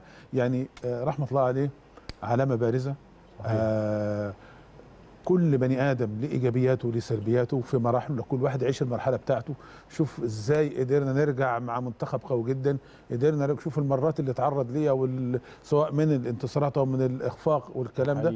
لكن آه، جوهري لازم تقف عنده. طبعا. ولازم نتعلم من تجربته. وإحنا محتاجين في الفترة اللي إحنا بنمر فيها حاليا سواء على صعيد المنتخب محتاجين فعلا نروح دي. محتاجين يعني كابتن حسام بدري عليه دور كبير إنه كمان يرجع ال- الجو تاني ويكسر الحاجز اللي بدا يتسبب فيه يعني ال social media في صناعة. يعني صراع وهمي غير موجود بين لعيبة الأهلي والزمالك بصورة غير مالوفه البعض يسكب الزيت على النار بطرق آه، بس مختلفة في منتخب أعتقد مصر محتاجين- صدقني يا أستاذ محتاجين- منتخب مصر لما يعني. بنتلم ما فيش. أهلي وزمالك الموضوع بالنسبة لنا بيبقى منتهي تماما طالما دخلت منتخب مصر وقلعت فانيلة ناديك وحطيتها في النادي وروح بتلبس فانيله منتخب مصر كلنا بنبقى واحد وده ده متعودين عليه طول السنين. طيب خلينا نفتح أول حاجة مع حضرتك. طبعا هنتكلم أكيد على ال- ال- الدوري بشكل بشكل مباشر. اعتقاد الدوري خلاص اتقسم بطل دوري إن شاء الله النادي الأهلي. ال- الصراع على التمثيل الأفريقي على مستوى الكونفدرالية وال Champions League الأفريقي المركز الثاني. والكونفدرالية. ده. صراع لوحده وطبعا شريحة كبيرة جدا من فرق الدوري صراع البقاء في صراع الدوري. البقاء فيه. طبعا ال ال يعني المنافسة آه، حسمت آه، يعني بصورة بشكل اللي إحنا بن- بنتكلم فيه لأنه يعني ما فيش آه، جديد فيها. النادي الأهلي عشان يعلن رسميا تتويجه للبطل المسابقة العام الخامس على التوالي محتاج الفوز في خمس أو ست مباريات متتالية يعني يعلن فيها رسميا يعني اتحاد الكرة إنه خلاص حسم اللقب لكن هو على ألو... على في. في اللي إحنا في. من خلال حساب النقاط هناك فارق كبير بين الأهلي ومن يليه في الترتيب طب النقطة اللي حضرتك بتقولها الأهلي بيسعى لكده إن هو خلال خلال المشوار اللي جاي إنه خلاص بقى يحسم الدوري عشان يفوق للمع... يعني للمعارك بقى الكبرى المعارك الأفريقية ده ويكون المفروض ده يكون في حسابات رينيه فايلر إنه رقم واحد بالنسبة له إنه يحسم ال- ال- ال- المسابقة في خلال خمس مباريات على الأقل الجايين إن شاء الله حتى يدي نفسه فرصة إن هو يستعين بمجموعة من. الناشئين ولا والذين يحالفهم من الحظ في المشاركه في- مع الفريق في. المباريات عشان يشوفهم ما هو طب أنت هتحكم إزاي؟ الأهلي لازم يخرج لازم يبقى التركيز الأساسي في الماتشات اللي جاية على جمع النقاط. يعني آه، بغض النظر عن الحديث عن مسألة الأداء آه لازم الأداء يبقى الأداء الأداء قوي يستحق عليه الفريق الفوز ببذل الجهد ومعالجة السلبيات والبحث عن الأفضل والتجويد وتنفيذ جمل. لكن ال- الفرصة مواتية إنك أنت تحسم مبكرا وبعد كده تريح وبعد كده تفكر في آه، اللقب الأهم بالنسبة لك اللي هو دوري أبطال أفريقيا والمباراه المهمه جدا والصعبه جدا مع فريق الوداد بس مش. مستحيله على فكرة فأعتقد إنه الر- الرهان الأساسي والشغل الكبير جدا ويمكن الاجتماع اللي عمله فايلر آه، آه، مش اجتماع النهارده كان اجتماع قبل كده لما سئل عن الدفع بالناشئين ولا الوقت غير مناسب دلوقتي لأنه صحيح. في احتدام المسابقة المسألة مش محتاجة إن أنا تضحي بناس لكن هو رغم ان هو إدى في في الماتش اللي فات وبدأ يفكر الكلام ده أنا شايف إنه دي خطوة مهمة جدا وبتدي أمل لناشئين الاهلي إنه لا هيبقى في تفكير في المرحلة الجاية. جه الوقت إنه لازم يبقى في تفكير في المرحلة الجاية. جه وقت إنه لازم يبقى في تفكير في المرحلة الجاية وجه وقت إنه الأهلي لازم يبدأ يعتمد على اللي جاي من تحت. وأعتقد ده أفضل وقت لأن أنت زي ما قلت إن شاء الله بإذن الله بطولة الدوري محسومة فعندك فرصة وعندك مساحة إنك تدي يمكن من أول امبارح قلنا برضو خبر في البيت الكبير إن في حارس كمان اسمه حمزة. حمزة ده حارس مواليد 2001 بدأ يتمرن مع الفريق الأول. ده برضو حافز الولاد العربي بدري اشترك في آخر خمس دقائق المباراة اللي فاتت. فأنت عندك فرصة فعلا من ده بانك تطلع بعض اللعيبة وتقف على مستوياتها إن شاء الله تكون في في المستقبل طبعا ما طبعا موجودين لازم في النادي لازم الأهلي. يبقى موجودين. وكمان تفكر في موضوع الإعارات إنك عندك لعيبة معارة. مهمة جدا. يعني أنا يعني شايف إنه في يعني سؤال مش عارف محيرني وأنا بقعد أفكر فيه. يعني واحد أحمد ياسر ريان من اللعيبة واللي عملوا شغل مميز جدا مع المنتخب الأولمبي في تصفيات المؤهلة للاولمبياد طوكيو وقدم يعني كان حاضر في في لقاءات صعبة جدا. يمكن أهداف صعبة جدا. نفسي أعرف ليه ليه حتى الآن أحمد ياسر الان مش داخل دائرة الاهتمام؟ يعني ليه ما يتجابش ويرجع تاني ويتشاف وياخد فرصة؟ ليه ما ما- يتمش دعمه زي أي لاعب يتم دعمه؟ يعني إذا كان يعني يا جماعة جوزيه خد فترة بيدعم فلافيو لمدة سنة لغاية ما رجع لغاية ما استعاد ذاكرة التهديف. رغم إنه فلافيو ده كان مرعب في أنجولا وهداف الدوري الأنجولي أربع اعوام متتالية من 35 ل 32 ل 28 ل 17 ل 18 ل 11 ل 9 يعني بص بص مكان- بص من القمة للقمه. للقمه للقمه لما جه فلافيو اتعرض على الأهلي بعد مباراة آه، آه، آه، بعد أفريقيا 2001 آه، اللي فاز بيها الأهلي واستردها بعد 14 سنة جبنا أفيلينو. ما فكرناش في فلافيو كان سعره عالي جدا وقتها 2 مليون ونص ورغم برضه افرينو جيب مليون و8 ودخل من ضمن الصفقة جilberto شوف آه، بعد كده اكتشف مرض عنده يعني وتم استبعاده. ماشي بعد فترة فأنت من وتألق رايك من رأيك عوده يعني اللعيبة المميزة المعارين ممكن يكون ليهم فرصة الفترة اللي جاية آه، شاء لا، في الرؤية. أكيد نفسها. بس في رؤية فنية آه. يعني خلينا برضو نتكلم أنا كنت يعني أنا مريت بالمرحلة ديت إن بيبقى عندك عندك عدد معين من اللعيبة أنت بتتكلم على في أعراض كتيرة جدا بره النادي الأهلي وعندك كمان ولاد طالعين لسه من قطاع الناشئين وعندك نجوم موجودين فالحسبة ديت أعتقد بتبقى مش هقول لك حسبة صعبة شوية غير كمان إنك مطالب بصفقات جديدة. يعني مم. أنت خلي بالك عندك أربع حاجات أربع محاور ممكن فايلر بيشتغل عليها. أنت عندك لعيبة already دلوقتي موجودين في قطاع الناشئين مواليد مثلا 97 ده دي جزئية وبيتمرنوا مع الفريق. طيب وعندك قائمة الفريق الحالية وعندك محور تاني عندك بعض اللعيبة المعاره الإعارات. وعندك مطالب من الجماهير إن لازم يكون في صفقات مميزة فأنت كل الأربع محاور دول أعتقد بتترتب بشكل معين عشان تخرج بأحسن النتائج يعني. بص حضرتك يا كابتن أنت عندك مشكلة محتاج يعني يتم حلها ودراستها من دلوقتي.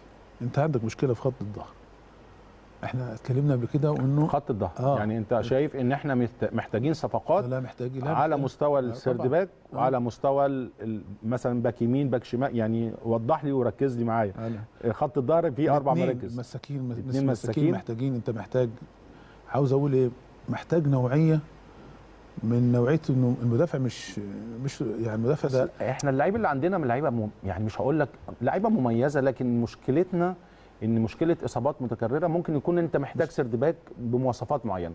أنت شايف المواصفات الكلام دي إيه؟ الكلام عن الموضوع مش تقليل من الموجود. لا طبعا. بقدر لا إنك طبعاً. أنت بتدور على الأفضل. تمام. أفريقيا الفوز بأفريقيا. إذا لم تجد تمتلك اللاعب اللي يديك ميزة عن أي لاعب عادي ما ينفعش تتعاقد معايا. لما تجيب تدور على لاعب أجنبي مثلا أو لاعب مميز هتدعم بيه صفوفك لازم يكون عنده ميزة عن اللي عندك. طبيعي أنت مشكلة؟ أنت ما أنا بكلمك أنت مشكلة أنت دلوقتي محتاج في الدفاع محتاج تدعيم بلاعب أو اتنين على الأقل. لا يعني إيه أضيف عليهم طبعا مع حظ غريب جدا في كثره الإصابات دي مشكلة برضو في خط في خط الدفاع أنت عندك جملة إصابات في الخط الخلفي كان سعد مرعبة. سمير وبعدين يعني محمود متولي سعد. وبعدين؟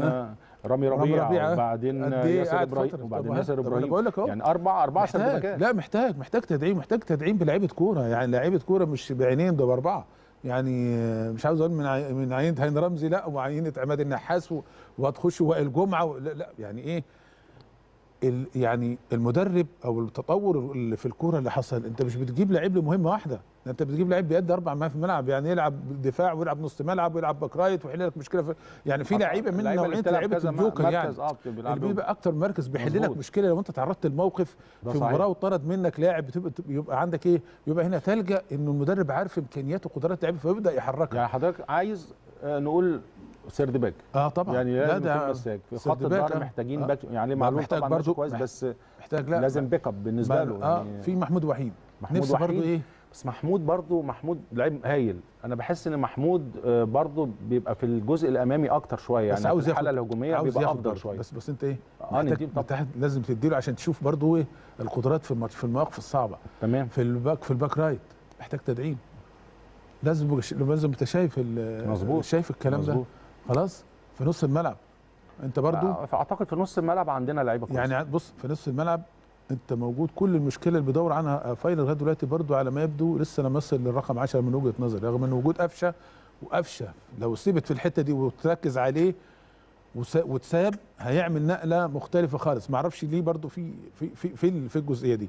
لكن أنت المجمل مش بقدر إنك أنت تجيب 10 يعني سبع ثمان لعيبة بقدر ما تجيب اللي ناقصك اللي انت. محتاجه بالظبط طيب. يعني عندك من 11 لاعب انت عامل لهم اعاره من عمار حمد لأحمد ياسر ريان ل آه محمد شريف؟ إنبي لعيب محمد شريف لعيب طبعا محمد شريف. لانبي لعيب عندك مميز محمود الجزار والاهلي كان جاب. برضه الناس برضه عاوزه تشوفه يعني إيه الناس عاوزة تشوف اللعيب تشوف قدرات ما شافتوش سمعت لكن ما شافتش. يعني برضه إيه لما يبقى. موجود هل يستطيع إنه يتحمل الضغط بتاع النادي الأهلي؟ قدرات رغم إنه لاعب برضه في لاعب في المنتخب الأولمبي. ما تشافش برضه بالصورة ال- يعني ما خدش برضه حاسس كان بيلعب بديل برضه. خلي بالك دي فرصة كمان إنك بتلعب من غير جماهير. إحنا دايما كنا بنتكلم الضغط الجماهيري في المباريات. لا ده أنت عندك فرصة كمان أنت بتلعب من غير جماهير. فالموضوع الضغط الجماهيري داخل الملعب هيكون قليل شوية آه، على طبعا. على الولد اللي بيلعب. لكن كل اللي حضرتك بتتكلم عليهم أسماء لعبوا اوريدي تحت. يعني أحمد ياسر ريان لعب تحت آه، ضغط جماهيري. في بطولة آه، أفريقيا. كان. في 100000 آه طبعا. فحضرتك زي ما بتتكلم يبقى في في صفقات حضرتك شايف إن صفقات نركز بالظبط على موضوع خط الدفاع بشكل بشكل أفضل شوية طبعا آه، آه، المعارين نشوف مين اللي ممكن يلعب الدور اللي يزود النادي الأهلي يزود. عندك يعني عمار أنا شايف إنه هيبقى مكسب كبير لأن عمار لعيب كويس وكان معانا ساعات في المنتخب الفترة اللي فاتت بيلعب بيلعب على الطرف بيلعب ممكن ياخد دور شوية دور آه، دور قفشة ممكن يلعب half يمين box to box لا عمل عمل فعنده كذا مركز يعني يقدر يشتغل لما عليه حتى اتصاب في ماتش بتاع الطلايع الناس كلها بدأت مهتمة وكان في حالة من القلق على صحيح. عليه يعني رغم تم الاصابة إن. شاء الله هتبقى فاللي أنا عايز أقول لك إنك أنت إيه محتاج حتى تغيير سياسة نوعية التعاقد مع اللاعيبه الاجانب. خلاص إذا لم يمتلك اللاعب الأجنبي اللي يديك ميزة عن اللاعب المحلي في ظل كمان ارتفاع الأسعار والمبالغ الضخمه والعقود الرهيبة دي إن لازم يبقى عندك اللاعب الأجنبي بيديك الميزة لما تتزنق تحتاجه يعني لما تبقى محتاجه تلاقيه موجود بيعمل يعني الفارق بيعمل يعني لك الفارق. آه. ده بيبقى موجود إيه مش على الصعيد الدوري فقط لأ دلوقتي أفريقيا الكرة اتطورت ما عادش فيها صغير وكبير خلاص الدنيا آه، كله بيشتري وفي توجه كبير جدا. حتى زي ما تلاحظ إنه حتى في الكره الأفريقية بدأت توجهوا ناحية إيه؟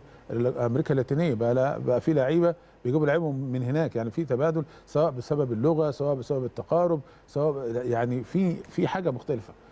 ليه ما نبصش على الاتجاه ده ونغير؟ لازم يبقى في حاجة مختلفة. يعني أنت محتاج اللعيب المهاري القوي اللعيب اللي خلاص لك أنت عندك مشكلة في الهجوم؟ آه عندك مشكلة في الهجوم. عند رأس حرب. رأس حرب يخلص لك اللي هو من ربع فرصة.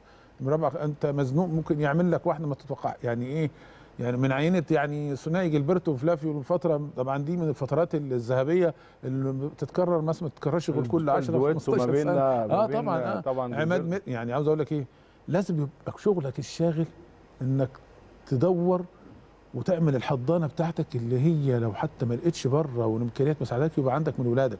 يعني طلع من مقطع لازم يبقى في شغل في قطاع الناشئين. مهم جدا. ما ده اللي بكلم أنا بكلم حضرتك في الجزئية ديت. أنت عندك ما أنت زي ما قلت لك عندك قطاع ناشئين ممكن جدا تبص على حد واعد فيه ويجهز خلال سنتين. ما ليه لأ؟ وعندك كمان معارين هيرجعوا حسب رؤية فنية وحسب المدير الفني عايز إيه وعندك صفقات لازم تحصل على المستوى ال- أنت بتقول طبعا على المستوى الدفاع أنا بوافقك الأمر فيه على المستوى الدفاع لازم يكون في بعض الناس آه، صفقات مميزة. آه، ونص الملعب أنا شايف إنه رجوع بعض الناس المعارة ممكن تساعد. نص الملعب عندنا بيشتغل بشكل كويس وعندنا بدائل كتير يعني. آه، ممكن في تلعب آه. بطرق لعب في كتير في مختلفه نص يعني. الملعب يقدر في. كتير يقدروا يعملوا. اذا هنا الأجناب مثلا الأطراف يعني ما هي ما هي دي ما أنت عندك دلوقتي عندك علي معلول آه لا بتكلم قدام بقى. انت بتتكلم ناحية. مثلا عند دلوقتي عندنا كهربا وعندنا أحمد الشيخ وعندنا وليد سليمان وعندنا أجاييه. في أسئلة كتير عن أجاييه بس بس طبعا رغم إنه طلب براحة يعني و- آه. والجهاز الفني وافق له ماشي. ممكن يكون في حاجة ماشي. أكيد الجهاز هو اتكلم معاهم وشرح وجهة نظر فاقتنع بيها الجهاز الفني ماشي. ممكن فترة برضه خلي بالك فترة صعبة جدا من من إيقاف من ثم عوده وده الكلام ده مش تأثيره على الأهلي بس على أندية كتيرة ولاعيبه كتير. كمان اتأثرت ما عادتش بالصورة. الصورة ال- ال- وخ- ال- ال- وخاصة اللعيبه الأفارقة آه عارف طبعاً، ليه يا أستاذ. محمود آه. لأن هم في في لعيبة أفارقة قضوا كل فترة كورونا هنا ما كانش في سفر فكمان فرص آه، إنه يشوف أهله أو عيلته أو ابنه أو مراته ممكن تأثر نفسيا ممكن إذا ما كانوش يعني. معاه هنا يبقى هنا آه. بالظبط فكان فأنت حتى يعني إيه رغم إنه الكلام اللي بيصار والهجوم على جونيور اجاي وبتاع ولا لكن عاوز أقول من اللعيبة يا جماعة من اللعيبة المهمة جدا في النادي الأهلي لما يكون فايق بيعمل بيعمل نقله فرق، لكن في في حاجة الفوز بدوري أبطال أفريقيا عاوز روح قتالية أش... عاوز روح قتالية شرسة في الملعب عاوز روح آه، آه، آه، الفريق يقدر يعملها يقدر يعملها لو تخلص من كل يعني إيه المخاوف لو تخلص من كل الأعباء وركز في وثق في إمكانياته وقدراته وعرف قد إيه يعني بيمثلوا فريق بحجم الأهلي لا تقدروا تعملوا تقدروا. تعملوا تقدروا تفوزوا تقدروا تعملوا النتيجة الوداد مش مرعب يعني ولا رهيب لا ده يعني لا مباراة يعني عاوز أقول لك إيه جات لك يعني مباراة الذهاب وإياب هتبان بقى هنا فيها القدرات.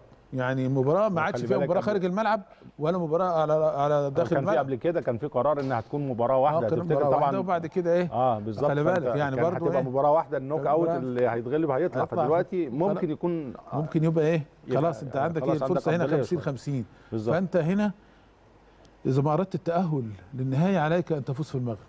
حقيقي. تنتظرش لأنه الوداد من الفرق الكبيرة جدا وبتعرف تلعب. يعني ونتائجهم آه، معانا واضحة. يعني 3 3 و1 0 هنا برغم إنه مثلا النهائي بتاع 2017 إحنا ضيعنا فرصة العمر. الاهلي يعني كان بإمكانه يحسم المباراة وغير اللي حصل كمان في مباراة العودة. فأعتقد إنه لا يعني بطولة أفريقيا هي المحك. بطولة أفريقيا هي الميزان الكاشف ل- ل- ل- لفريق النادي الأهلي. هي اللي هتحدد شكل كتير جدا في المرحلة المقبلة.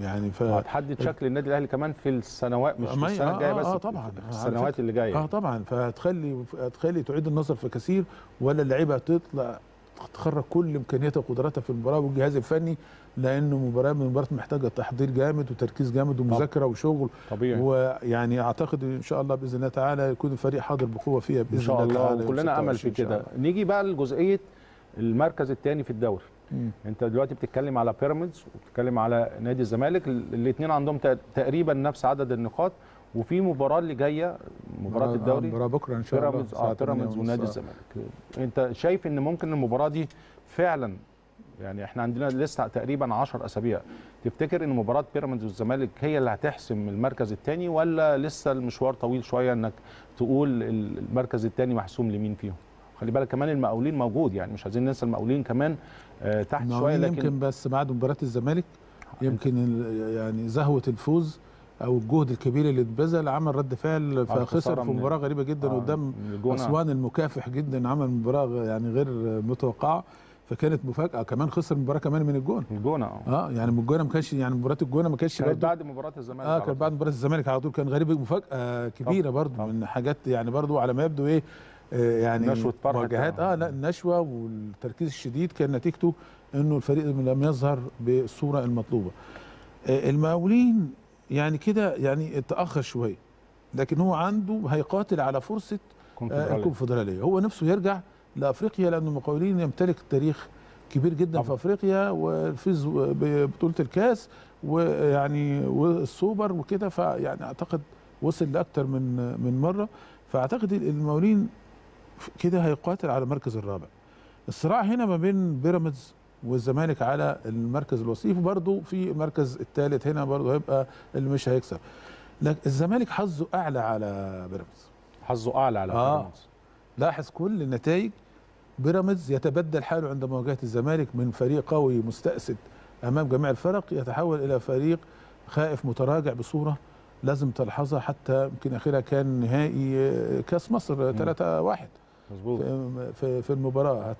بكرة هتفاجئ بأداء يعني أنت متوقع بكرة أنا متوقع لا متوقع لا ان بيراميدز مش هيكون في مش- المتوقع منه عنده يعني عنده لعيبة المفاجأة إنه. المفاجأة إنه بيراميدز هو اللي يكسب مش الزمالك. لا الزمالك فرصه أعلى.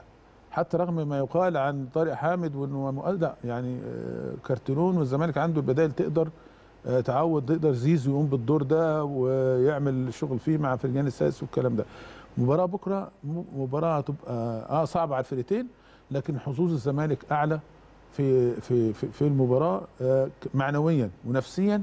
آه، فريق رايح يعني إيه؟ أنا بغ يعني أنا, أنا أنت مش عارف. آه يعني أنت بتتكلم على عامل النفس وإن إحنا العامل عندنا النفسي عندنا هيكون عندنا تاريخ إن آه. إحنا دايما متفوقين آه، بالعامل. النفسي أكتر العامل النفسي رغم عدد اللعيبه آه مميزة جدا في حصلت بقى مفاجأة بقى وبيراميدز فاجئ ال- الزمالك باداء غير متوقع والزمالك لم يظهر بصورة مطلوبة ده وارد في الكورة لكن لما تيجي تحسبها فنيا لا، ده ونفسيا هيحسم المركز الت... يعني مباراة بكرة المباراة دي تحسم, هتحسم المركز الثاني تحسم رغم لسه في كمان بعديها تقريبا 8 8 أسابيع. خلاص لا هتدي لك فرصة إنك أنت خلاص يعني هتبعد أنت الفارق هنا اعتبر الفوز بكرة ب- بست نقاط مش نقاط، ب- آه. مش بثلاثه وهتخليك فرصة كده تلعب مسرح لو حصل بيراميدز خلاص كسب اعتقد ان بيراميدز خلاص هيمتلك الوصافة لو الزمالك فاز بكرة خلاص يمتلك يبقى هو المركز الثاني بشكل عنده. الأمور نفسيا آه، كمان مباراة مع فرقة كبيرة فرقة مدعمة فرقة عندها إمكانيات وقدرات آه، مالية كبيرة جدا زي ما أنت شايف آه، يعني تاخد أفضل اللعيبة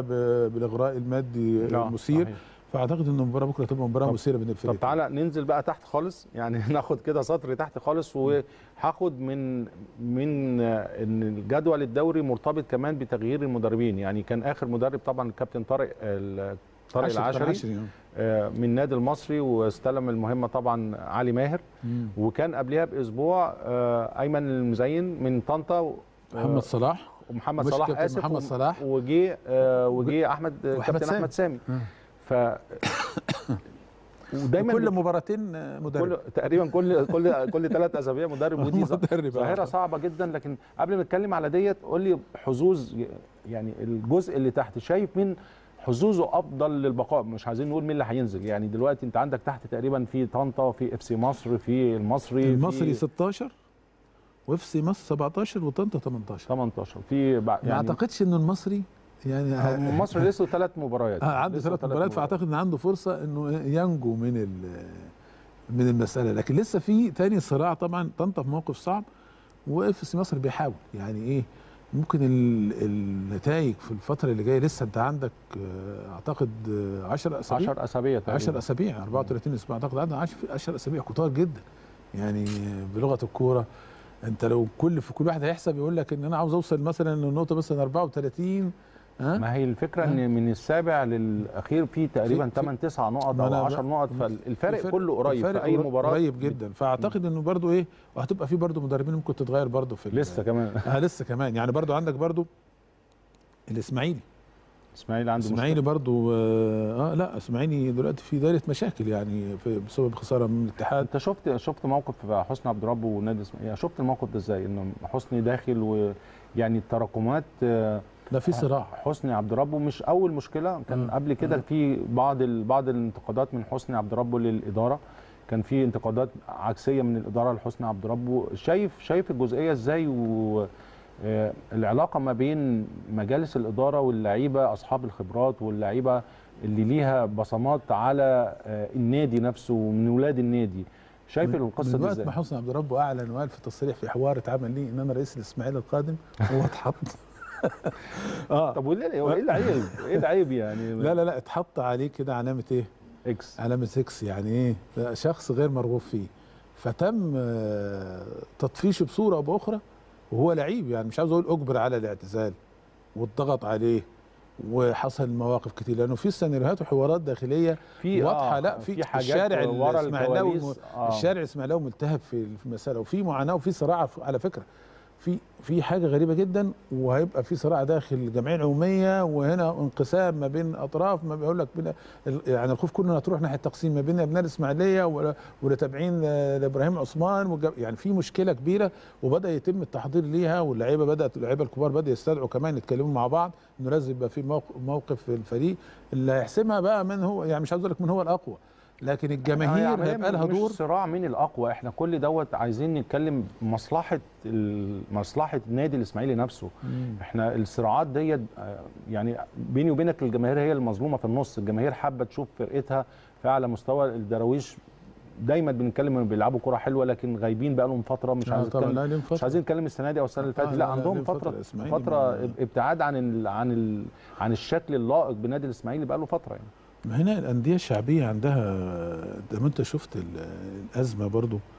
مع الأندية الشعبية برضو بتدي شكل المنافسه يعني طبعاً،. الإسماعيلي الاتحاد المصري كل الأندية دي وجودها شيء مهم جدا وعودتها للحياة بيدي شكل أقوى رغم إنه الغالبية دلوقتي أصبح يعني يعني تآكلت ال- القاعدة الشعبية للجماهير. وغياب الجماهير كمان أفقد المسابقة حماسها وقوتها طبعاً، على على. فترات لا شك. شك طبعاً. حتى إيه يعني أنت ما بت- ما بتقيسش قدرات بعض اللعيبة ها؟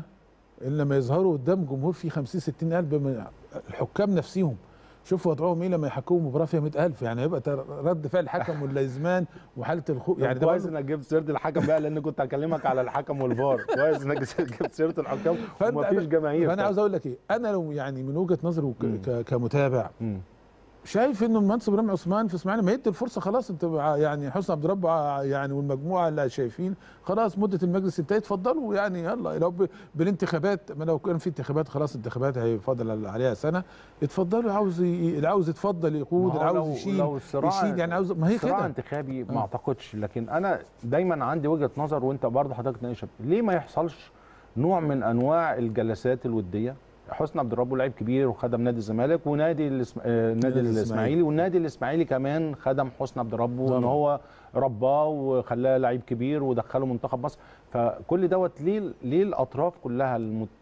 في شكل من النزاع أو الخلاف هاني. ما هو أنا عايز أعرف ليه ما بيحصلش؟ إن الناس دي في أطراف. هنا يا كابتن هاني. في اطراف ما يقعدوا مع بعض بس أستاذ. حاجة. في أطراف هنا يعني ما بين دايرة صنع القرار بيبقى لها تأثير في محاولات التشويه والخوف وإن وجود حسني وهيعمل وبتاع. الكلام ده أتمنى يعني رغم إن أنا بقول لك إيه لو وصلت الأمور لأزمة إبراهيم عثمان أو العثمانيين زي ما بيقولوا وهم يعني آه، تاريخ في الاسماعيليه ما حدش. يختلف عليه وعملوا لو شايفين لو هم شعروا انه قدر إنه خلاص الرغبة العامة للجمهور والشارع اسمنا مش عايزهم سهل جدا إن منصب إبراهيم عثمان يقول اتفضلوا.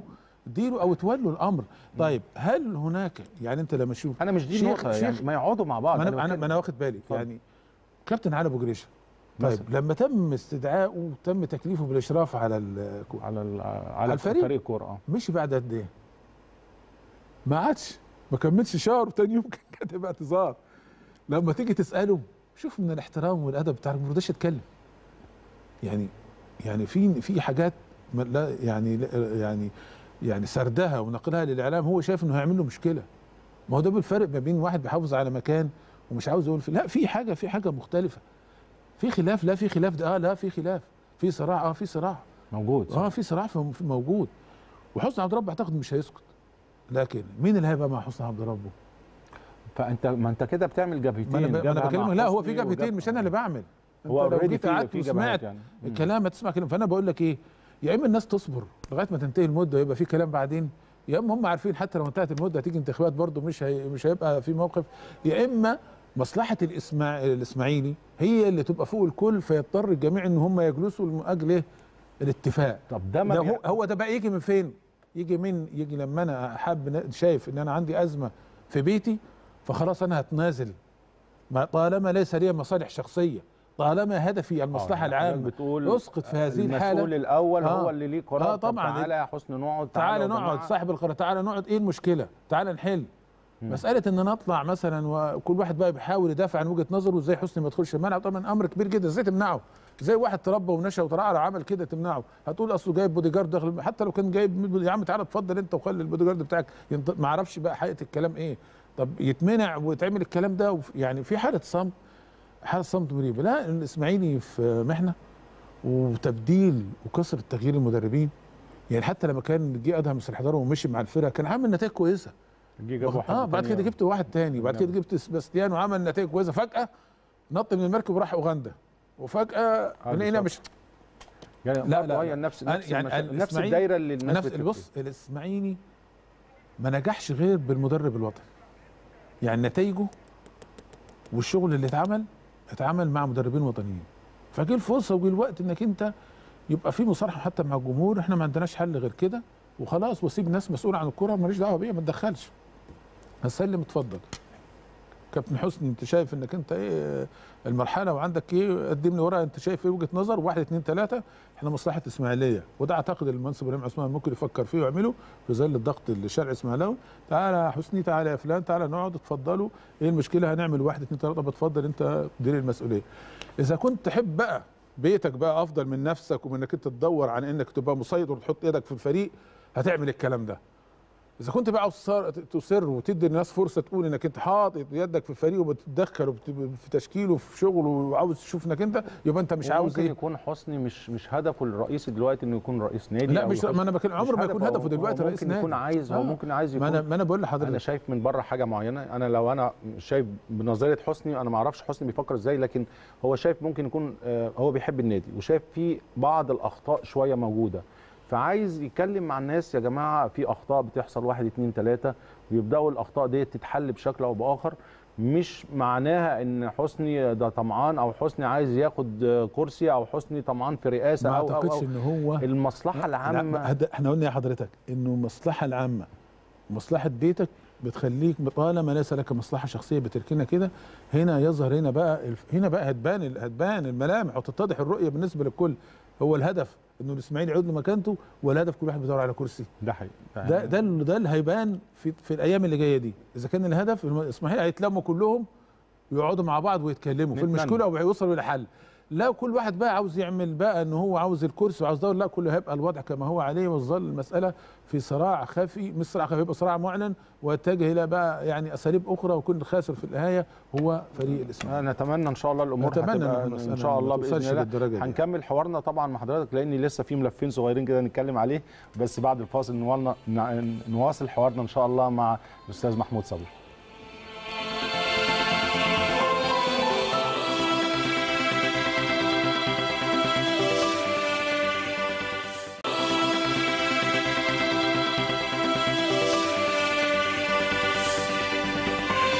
رجعنا مع حضراتكم الأستاذ محمود صبري وحوار شيق جدا جدا ما بين الفاصل. بنتكلم على الفار وبنتكلم على التحكيم ويمكن خلينا نتكلم بكل أمانة. تقنية الفار ساعدت إلى حد كبير ل يعني تقريب وجهات النظر بمعنى أصح لكن البروتوكول ال- الحكم بيتعامل هل يتعامل الحكم المصري مع بروتوكول ال- ال- الفار بشكل بشكل سليم؟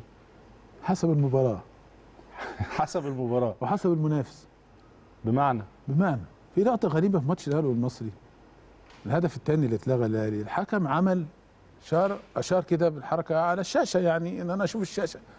وهو لغى الح... لغى ال- الهدف من غير ما يرجع. يعني هو من غير ما يرجع للفار. الطبيعي إنه الطبيعي إنه يروح يبص هو بنفسه آه، يشوف طالما عمل كده يبقى هروح. هستعين بال هستعين بالشاشة عشان أشوف أو هم اللقطة. قالوا له الحكم قال له تعالى يا بص فندم مش هو من دم عمل كده؟ يبقى لازم يروح. مش لازم يروح. ده حاجة غريبة جدا. كل اللي قاعدين قعدوا يضحكوا. يعني التصرف يعني انت شفتها كده بعينيك بصيت شفت الشاشه قدامك ولا إحنا ما نعرفش. يعني يعني عاوز أقول لك إيه في حكم في لقطه في مباراه في في الدوري اللي هيقول لي الفار هديله انذار. لا خلينا نتكلم لا، على لا، يعني التجربه نفسها. انت شايفها إزاي؟ تجربة وجود الفار في الدوري خلي. بالك في مشكلة. في مشكلة. وال و آه، يعني الاتحاد الدولي خلي بالك متابع. الفيفا متابعة الحدوتة مش ساي- سايباها كده يعني. آه. في ناس بت- بتبعت لها التصرفات والح... يعني إيه؟ يعني إمتى الفار بيدخل في حسب corner؟ الفار بيدخل في حسب فاول. آه، الفار يدخل في في لقطة card الأحمر بس. آه، يدخل دي في تسلل يدخل في هدف. دي اللقطات اللي هي المفروض بتاع ديانج في مباراة ما أنا الأهلي بكلمك. لا وغير غير كده ده مع فرقة تانية. طلع الحكم بيعمل تصرفات غريبة جدا واللاعب جوه متطوع معاه بيديله يعني فرصة. وفي حاجات تانية في مباريات تانية تلاقيه ملوش حس خالص. جوه ده ما بيتكلمش ملوش دعوة. ضرب يحصل فرقة كورة ممكن يبقى عليها طرد هدف ممكن يبقى محتاجين لسه مفيش- محتاجين لا يعني لا لا لا إيه اللي مفيش- محتاجينه؟ مفيش مفيش يعني مفيش معيار واحد. ما هي دي مشكلتنا يا كابتن. ما إحنا دايما يا أستاذ محمود هنا بنتكلم إن إحنا بنطرح المشكلة ونقول الحل. يعني دايما بنقول آه عندنا مشكلة. مفيش معيار يا كابتن عندنا مشكلة في كده. أنت حضرتك شايف إيه الحل؟ يعني ال- البروتوكول لازم يتذاكر بشكل أفضل للحكام. الحكام اللي يا قاعدين فندم بره أنا الحل إن أنا إيه مفيش نادي يسقط على. حقه يا فندم هت- هتجيب نفس اللعبة في نفس القرار في كذا مباراة. شوف الحكم خد القرار إيه. هتلقى لا يمكن القرارات لو ثلاث مواقف متشابهين في ثلاث مباريات لن تجد القرار واحد. طيب ما هي دي مشكلة. لا ما أنا بكلم لا ما هي دي. مشكلة. ما تتكررش على طول. يعني دي محتاجة برضو مسألة البعض يرى احترامك للتحكيم. يعني إيه؟ في حكام بتخاف لما تلقى اللعيبه جاية داخلة فيها. يعني إيه؟ أنا معاك. يروح أو عارف- أو المدير الفني أساتذة بي- طبعا. يقعد عارف إيه؟ يضغط عليه الأساتذة الأساتذة في, في الحدوتة دي الكلام ده في مظبوط. شمال أفريقيا. يعني هم مدرسة. لما حتى بيروحوا يعترضوا ما بيروحش لاعب واحد. بيروح خمس لعيبة أو ثلاث أربع لعيبة يدخلوا في الحكم ويحوطوه كده ويعملوا يحطوا الحكم تحت ضغط في اتخاذ قرار. وده إحنا في البعض بيعملها وبيجدها مش كل الأندية والبعض خلاص بيستسلم للقرار وخلاص انتهى الموقف فأنت هنا ال- الحاجات السلبيات دي المفروض لجنة الحكام بيبقى لها نصايحها وتوجيهها بعد المباراة وتحليل الاداء اللي إحنا بنسمع عنه الأسبوع اللي فات كان في اجتماع كابتن وجيه حمدي آه، وجيه- وجيه أحمد وجيه عمل, أحمد، آه. عمل اجتماع مع كل الحكام على وقال لك الحكام بس ما فيش علشان يراجع ال ال كل المباريات اللي فاتت في الدور اللي فات أو في الست أسابيع اللي فاتوا بتقنية الفيديو يطلع يا فندم ويشوف الأخطاء يطلع يا فندم يطلع يا فندم يقول ما يقدرش بروتوكول يطلع هو لا هو لجنه هي- يقول البروتوكول اللي الحكم هيسمعه من الفار. ما ده بروتوكول محطوط ما أنا بكلمك أهو. في حاجات. تانية في حاجات تانية الحكام واللي قاعدين جوه دخلوها على إيه؟ على البروتوكول مش موجودة. يعني وانت بتتدخل انت في كورنر وانت بتتدخل ممكن بكرة يلاقيك في اوت ممكن بكرة يتدخل لك في انذار. لا لا الكلام ده لا على فكرة غلط. يعني ممكن يمشي غلط. وبعد كده يفتكر يروح لاعب عمل لعبة يروح حد قايل له ارجع للعبة. يا عم انت مالك؟ ما هي دي مش من ضمن البروتوكول الموجود. يعني في ألعاب ما صحش انت يعني إيه يعني ما تبينش انت ليك دور. يعني الحاجات اللي هي إيه ال offside الهدف الكارت الأحمر. في أكتر من كده يا كابتن هاني؟ ولا في حاجة تانية في لا ضربات الجزاء طبعا. ضربات الجزاء؟ ما طبعا. آه، لو ضربات في بيخشوا فيها. ال offside ما فيش شك. أنت بتتكلم على الكارت الأحمر ال direct يعني مش على طول آه تاني. مش اللي مش الانذارين. أنا آه، بكلمك ده لازم بيخش فيها. أنت يعني خلاص يبقى. هنا الحكم بقى بيسلم إيه؟ رغم إنه بيقول لك إيه؟ أن الحكم سيد قراره. حقيقي مظبوط. يعني رغم الفار ممكن يقول له كوره جول هو ممكن يقول لك لا كوره مش جول. ما عشان. كده بيروحوا يبصوا هو بياخد القرار. ويحترم إيه؟ قراره. فهنا هنا أنت إيه؟ مشكلتك إنه مفيش ميزان واحد في في اتخاذ القرار. حسب المنافس وحسب أنا خايف من ده ومحطوط تحت ضغط ولا حسب ما ده اللي بيخلي بيدير الشبهات والتساؤلات. ما ده اللي بيفتح عليك ال- ال- بيفتح عليك باب شر. ما أنت تقفله. أنت لازم كلجنة حكام. دي مشكلة على المدار. حسب المباراة وحسب المزاج يا يا عم عدي خلينا نمشي ونروح. يا عم جماعة حرام. يعني أنت ممكن في قرار تخلي فريق يهبط. تضيع مجهود اداره ونادي وفرقة وتخسره بطولة. الأسابيع اللي جاية أسابيع حساسة ما أنا جدا. بكلمك أهو. فهنا إيه هنا إيه؟ هنجيب فرع على الفرع. لا الفار ما نجيب فار يا عم ونعمله بعد كل اللي بيحصل ده. ده الراجل عمل كده فالناس كلها وقفت إنه هيروح يبص. هيروح يبص آه. عمل حق عمل حاجة غريبة جدا. يعني عمل كده ولغى الهدف. طب أنت رحت شفت حضرتك.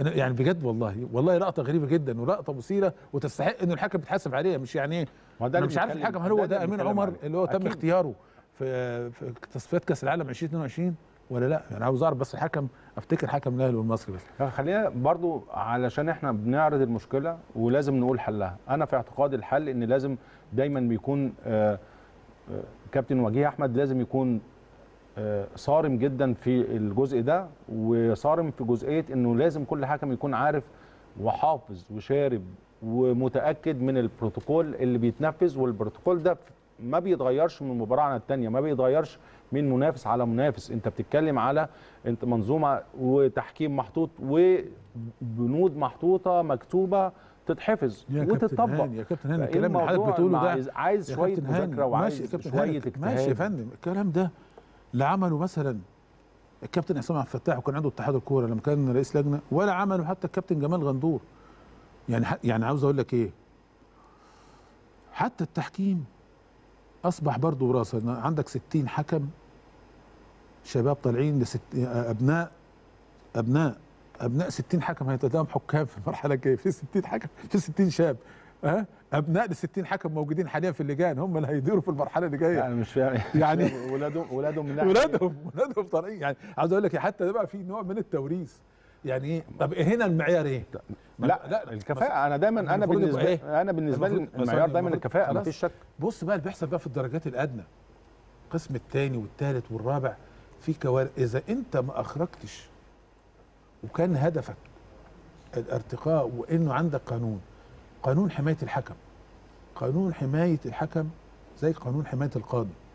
لا يستطيع أحد وبقولها لك وأنت ديك لعبت في الأحكام يستطيع أحد أن يخرج لينتقد حكم؟ وده الفني مستحيل. المسؤول على طول واقف. بتتفرج بقى على السنوات اللي فاتت تشوف اللي بيحصل لا، ما لا لا لا شوف وامسك يعني ورقة وقلم وتعالى راجع شوف اللي كان بيتقال في حق الحكام إيه. أنت هنا تركت الحكم في وصل لمرحله إلى نوع من الاهتزاز.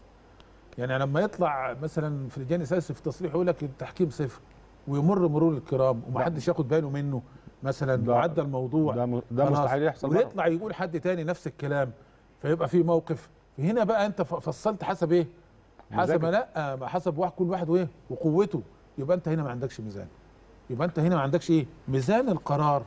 حتى لما يجي الفار ميزان القرار لازم يبقى ميزان واحد. لازم يبقى وجيه أحمد عاوز ينجح والناس تقول انت كمان طب هو أصلا في عقوبة أو في لائحة مكتوبة إنك أنت لو اتكلمت على حكم هتتوقف بشكل لو أنت إداري أو مدير فني أو لاعب أو ايا في كده كان يا فندم. ما إحنا بنسأل هل لا، المفروض لائحة، المفروض ده موجود ولا لا؟ واضحة. طيب. موجود الكلام يعني أنا متأكد إن الكلام ده بره غير بس لما خلي بالك كمان يعني المراسلين كمان بيبقى أنت يعني كمان السؤال بيطرح إيه رأيك في حكم النهارده؟ إيه رأيك في قرار الحكم؟ أنا ما بسمعش السؤال ده في مراسلين بره بصراحة يعني حتى مش هقول أنا سألتك إيه رأيك؟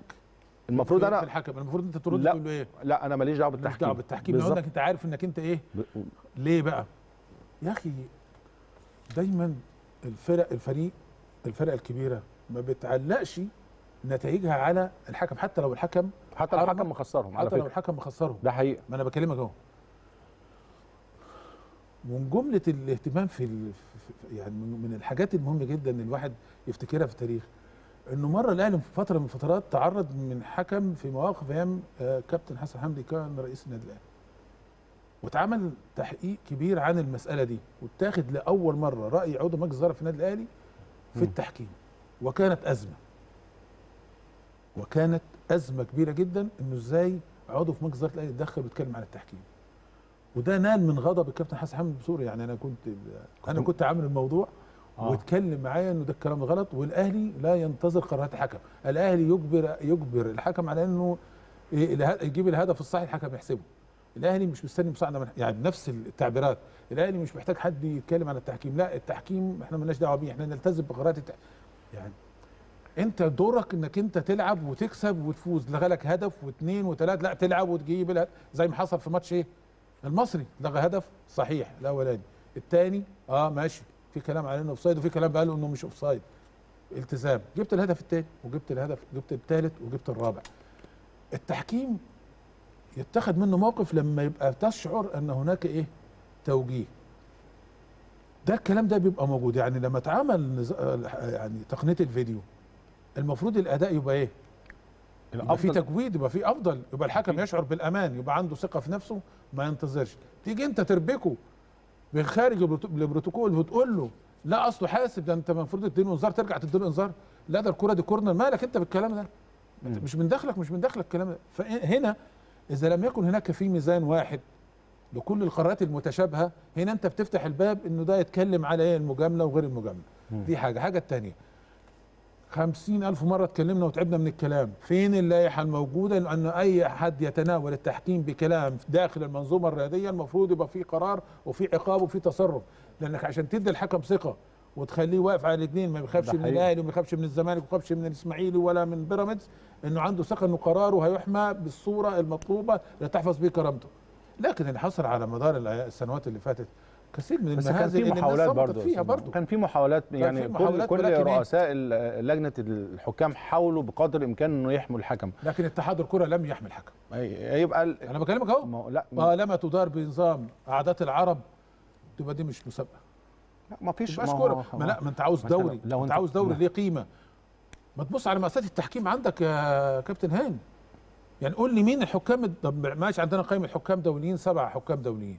فين انت موجود في في المنصات الرسمية حتى على الصعيد الأفريقي لا في. عندنا حكام كويسين بس مش. مش بالقدر الكافي إن في دولة كبيرة زي مصر زي ما بنتكلم مثلا على عدد المحترفين أنت برضو مع مصر ما عندهاش عدد محترفين بالمستوى الكبير آه، مقارنة باللعبة بيجي- الشعبية بيجي؟ الأولى بيجي يعني إيه؟ بيجي فده؟ ده بيجي بإيه؟ ده تنظيم بيجي بيه باللي تنظيم باللي. بيدير آه باللي بيدير آه ال- طبعا ال- من تحت كمان بالظبط اللي بيدير الكورة هو نفسه عاوز ينجح.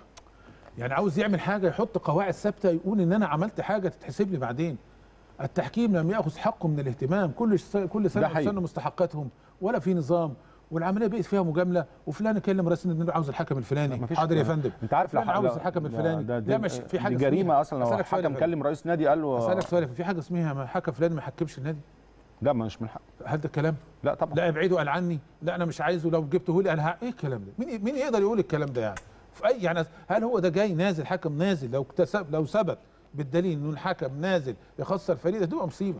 أصلا فكره يعني فكرة, لك إيه؟ فكرة يعني ان حكم يجي لي أنا مش عايز أكلم فلان عشان أنا الحكم ده قبل كده حكم لي وكان وحش فما آه، تجيبلوش الماتش اللي جاي آه، الكلام ده آه، مش موجود في الكورة لا، أصلا. بس هترجعنا لنقطة تاني إن ما عندناش آه، رابطة الأندية المحترفة آه، اللي بتنظم كل ده. انفصال تام. بص حضرتك لا محتاج على المستوى كرة القدم مصر لا فيها مشاكل كتير. وانت طرحت الملف من البداية أنا بقول لك احد وأخطر مشاكلها هي مشكلة التحكيم. في عدم لا مبالاة وفي عدم اهتمام. أنا بطالب إنه حتى لما يجي يختار الحاكم بتعمل له كشف هيئة. زي ما بتعمل كشف هيئة في الكليات العسكرية والهيئات القضائية. أيوة، الكلام ده مش بتعمل موجود. كشف هيئة للشخصية ولقدراته وتحمل الضغوط. وإن يبقى طب أنت لاحظت حاجة؟ في لعيبة كورة بيعتزلوا بيتجروا التحكيم. قليلين قوي. يعني حتى اللي راحوا الكلام ده ما فيش. قالوا هنعمل أكاديمية للتحكيم والكلام ده من من أيام رحمة الله عليه الكابتن سمير زاهر. ما فيش حد ينفذ الكلام ده عشان تسير على ليه؟ المفروض يبقى عندك إيه؟ خلاص أنت دخلت مرحلة أنت عاوز بطولة ومسابقة يبقى ليها ثمن يبقى ليها سعر. يا سيدي هات طور يا سيدي هات ناس من بره هات ناس من عندنا كويسة في ناس عندنا تقدر تعمل شغل. يا سيدي شوف هات ناس واشتغل- اشتغل. عليهم. يعني عاوز أقول لك إيه؟ صلح أخطائك. هات ناس تعلمك. مش مش أنت مش أحسن من السعودية ولا من الإمارات ولا اتطوروا بقى. بص لما انت تحتاج وتقعد مع حك- ناس أصحاب شخصية وقيمة وتقعد معاه مرة وتدرس معاه ويدرسك ويعلمك هيبقى في نقل على الأقل هتكتسب شخصية بعد بكرة بعد السنة بعد اتنين هيبقى في عندك ملامح. ال- ال- اللي حضرتك اتكلمت فيه بعض الدول العربية طبقته. يعني مثلا الإمارات استعانت بإدارة تحكيمية أو جابوا آه، خبير تحكيمي بشكل أو بآخر وبدأ يجي يقعد ويحط أسس. بس هنا ما طب لا أصل أنت, أنت طب هقول هقول لحضرتك معانا ماتش فاصل في الدرجه الثالثه والنبي شوف لنا طب هقول لك حاجة أنا عاوز الكابتن فلان يحكم. يعني لا أنا بتكلم في مبدأ إن إحنا ليه. ما نستعينش بخبرات بره؟ على سبيل المثال ريال مدريد ريال مدريد. أنت بتتكلم على ريال مدريد. عشان يطور ويكبر ال value بتاع القيمة التسويقية ليه عمل إيه؟ ما عندوش الخبرة الكافية. جوه إسبانيا جاب واحد خبير من كندا. قعد اشتغل سنتين. رفع القيمة التسويقية لريال مدريد ل 3.7 مليار يورو متخطي بيه المان سيتي. سيبك من الرقم رقم مرعب يعني. أنا بتكلم على الفكرة إن أنت ريال مدريد من أفضل الأندية على مستوى العالم خلال يمكن عصور كتيرة. إنه ما عندوش ابدا الإيجو ما عندوش الكبرياء إنه يقول لك لا ده أنا عندي جزئية دي عايز أعليها وفي خبير على مستوى عالي جدا ممكن أستفيد بيه عشان يعلي لي القيمه ديت. فجاب واحد من من كندا وده قعد سنتين ومشي. إنه لازم يبقى سنتين يعني سنتين ومشي. طبعا. سابهم عشان يروح يعمل آه، يعمل تجربة تانية في أحد الأندية في في أمريكا. فليه ما ليه ما عندناش الجزئية دي في ثقافتنا؟ إن إحنا لما يكون عندنا مشكلة في حتة وأنا عارف إن آه، الأستاذ محمود عنده خبرات كبيرة جدا في الحتة دي لا تعالى يا أستاذ محمود عندي مشكلة حلها لي. ليه ما عندناش الثقافة دي؟ ما لا لا يعني أيوه لا مش ليه ما بالصورة. عندناش الكلام مش ده. بالصورة يعني الكلام اللي أنا بقول لك عليه ده ده نقطة أساسية في منتهى الخطوره لما فكرنا حتى نعمل آه، رابطة الأندية المحترفة شوف تم تم استدعاء كثير يعني من الدوري الإنجليزي ومن الإيطالي جت ناس كتير. إيه النتيجة كانت؟ كل التوصيات والكلام اللي اتعمل المؤتمرات اتعملت والنتيجة صفر إحنا محلك صفر لأن أنا مش عايز اتحاد الكورة ومجلس مش عاوز ياخد يسيب الكعكة اللي هي الدوري. هي أقوى حاجة إيه؟ مسابقه الدوري وازاي مسابقه الدوري وانفصلت خلاص اتحاد الكورة ما بقاش غير إيه؟ غير بطولة مسؤول على الكاس المنتخبات ومسؤول المنتخبات. على هو شايف لأ هيبقى شيء جديد ويبقى صراع جديد ومختلف مش راضيين ننفذها آه مش راضيين ننفذها طيب أنت لما تعمل حاجة زي كده هل لما تجيب رئيس للرابطة هتجيب رئيس نادي ولا هتجيب رئيس مدير شخصية قوية جدا وبمرتب ومقابل مهمته انه لازم ينجح ناس يوصل تشتغل. بفلوس لازم الناس تشتغل بفلوس. لازم فلوس ولازم تطوير ولازم شغل طبعاً. عندك بنية تحتية وعندك ملاعب وعندك إمكانيات وعندك قدرات تعمل من أنجح البطولات على فكرة. لكن في ناس مش عاوزة الكلام ده يتم. زي ما بقول لك إيه التحكيم إحنا شوف بنتكلم من كام سنة على إنه محتاجين نعمل نقلة للتحكيم. محتاجين نجيب ناس تطور وتعلم مش عارف.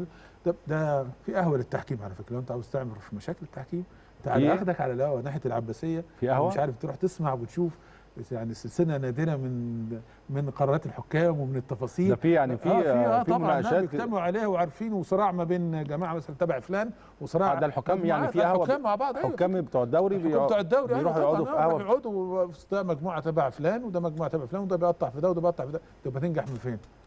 لكن أنت لو جيت فكرت مثلا في ال- المفروض بقى في ال- في المرحلة الجاية يعني عديت الموسم ده الموسم الجاي المفروض يبقى عندك قرار بإيه؟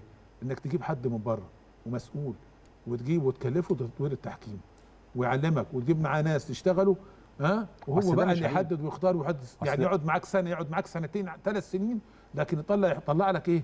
يطلع لك حاجة محترمة يعمل لك مسابقة قوية يعمل لك خلاص يا جماعة خلاص الناس ما عادش عندها مقدرة تستمر في هذا العبث يعني بأمانة شديدة لما تبص على التحكيم بتاعنا لا في مشكلة. لا متراجعين متراجعين. عندنا ناس ما عندهاش ثقة. مش ظاهرين بالصورة مش ظاهرين بس بالصورة. أنا شايف إن يعني مع الفار أنا شايف إن الدنيا اتعدلت شوية. يعني آه في في أخطاء بروتوكول مش ماشي بشكل كويس لكن برضو ال- الصورة أكيد مش زي ما إحنا عايزينها. أكيد مش زي صورة مثالية. وده الصورة المثاليه مش في التحكيم مش. موجودة. بص هي لكن- كرة القدم متعتها في المتعه في الأخطاء في الأخطاء والكلام ده ده حقيقي ده حقيقي. بس إيه؟ بالمنطق. يعني عاوز أقول لك إيه؟ يعني أنت في قرارات يعني دايما يقول لك شوف اللعبة دي اتحسبت فاول وخد انذار نفس اللعبة في مكان تاني ياخد كارت أحمر. طب على أي أساس؟ آه انت التضارب في في. في, في نفس في هنا أنت الموقف. عملت كده وما رحتش وفي هنا خدت القرار وما رضيت لما مش عاوز الف... مش ه... لا تقول لي فار أديك انذار.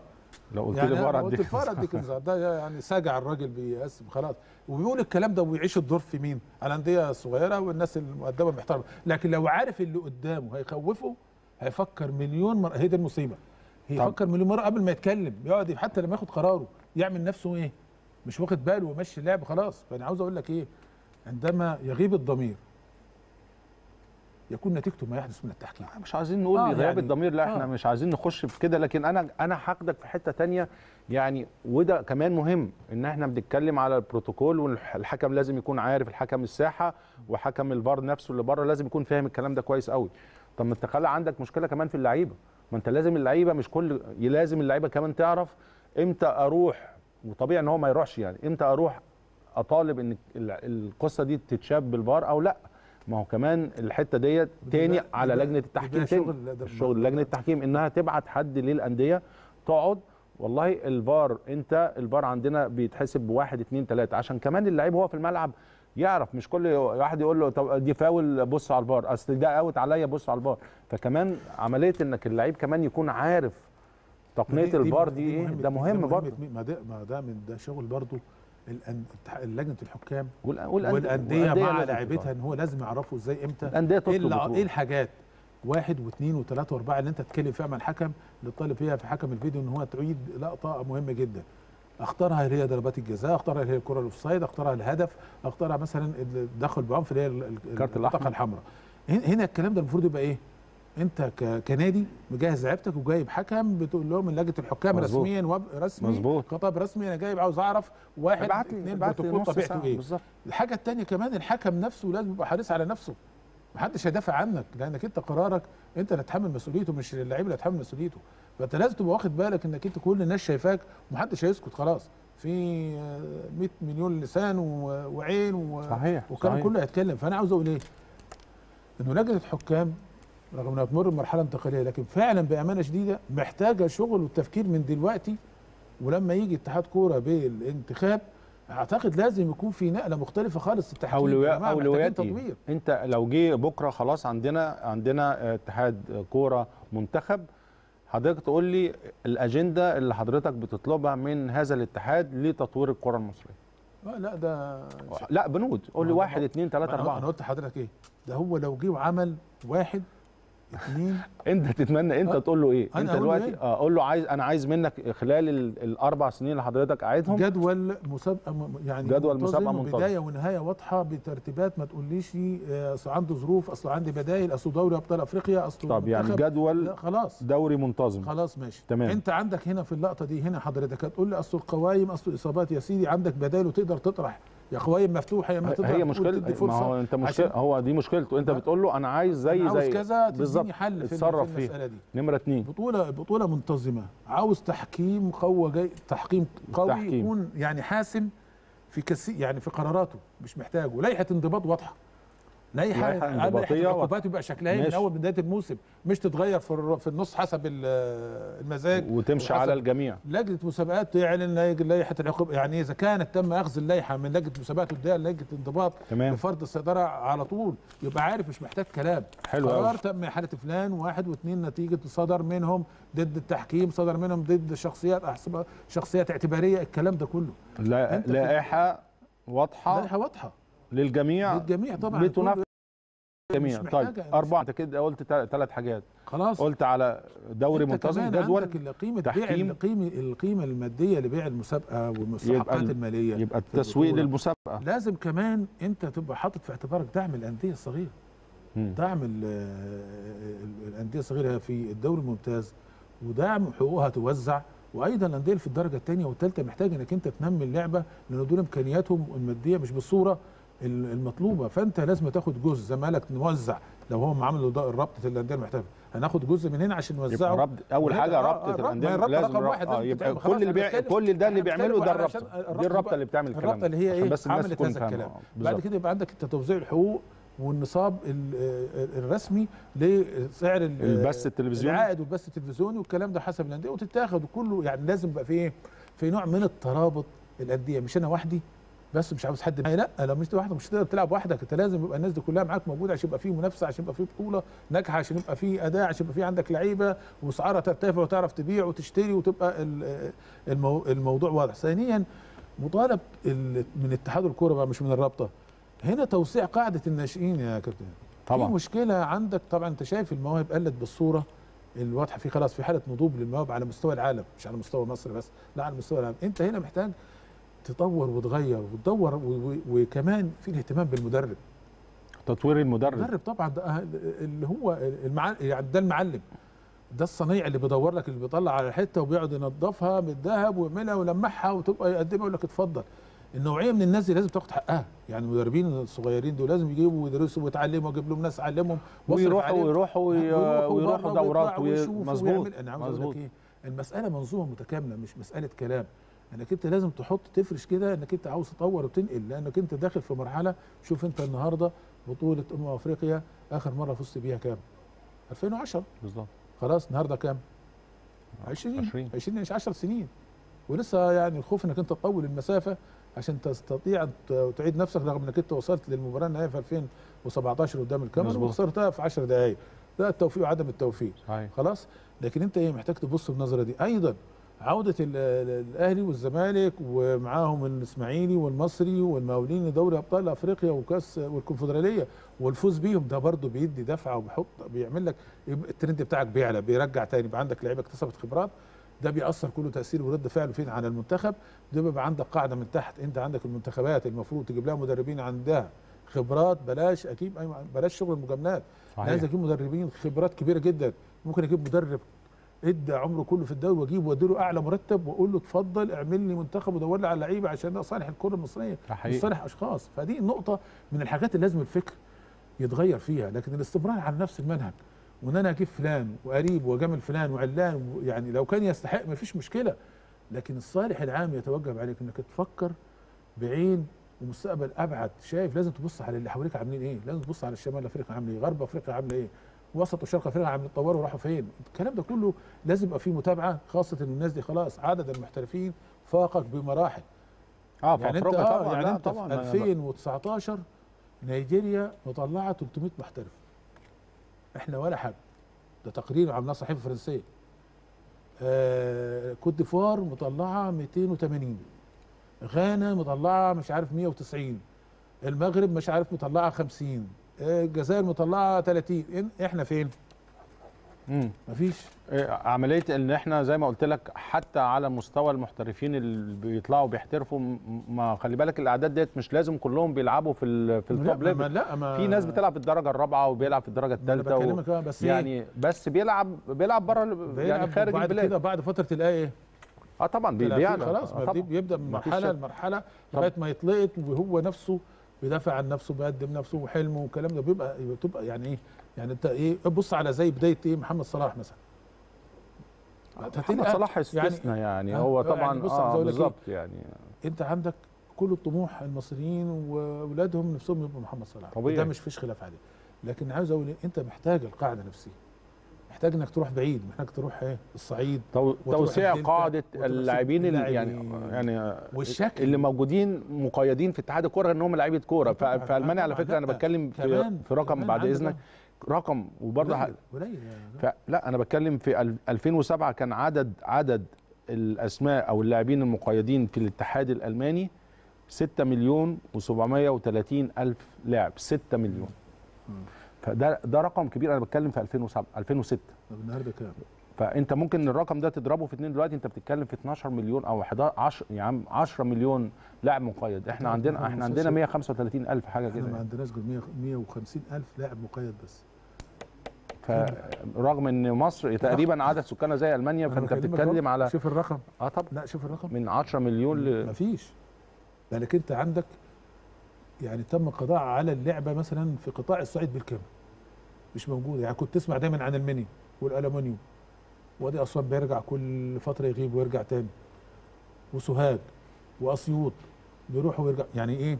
الجزء ده محتاج من محتاج من التطوير إنك أنت تدعمه وتوقفه لأنه يعني عشان تدعموا وتوقفوا برضو إحنا محتاجين فلوس. ما أنا بكلمك. وعشان نحتاج الفلوس أنت محتاج مسابقة. وعشان تعمل مسابقة كويسة محتاج فلوس انت محتاج آه، شركة تسويقية أقوى كتير جدا جدا من المعتاد. محتاج انك تكبر الفاليو بتاع أو قيمة الدوري المصري بالبث. آه، إيه المشكلة؟ ان ممكن جدا يبقى في عندك sponsor معين. إيه المشكلة؟ انك ممكن تقعد سنتين يبقى الكلام الكلام حساس شوية. لا ممكن جدا تشفر الموضوع لمباريات معينة. كل الدنيا بتعمل كده عشان تعلي ال value بتاع الدوري. فممكن جدا دي سكة ممكن نمشي فيها. القضية الأساسية يا كابتن هاني والنجاح إنك إزاي ترجع الجمهور. يعني بعد إن شاء الله مرور جائحة كورونا إن شاء الله إن شاء الله. خير إنك أنت شوف التفكير إنك أنت مهم جدا عودة الحياة للملاعب لأن الجمهور بيزيد من قيمة إيه. يعني شوف يعني المسابقة. طبعا. وبيديها نجاح وبيدي كمان دفعه للعيبة. يعني في فرق لما تقدم عرض مسرحي بدون جمهور آه مباراة طبعا كورة بدون جمهور خلاص إحنا اتعودنا على. الكورة بدون جمهور رغم ما لهاش إيه صح. يعني لكن هي خلاص انت اتعودت على الوضع وشوف فرضت عليك كمان الظروف الوضع.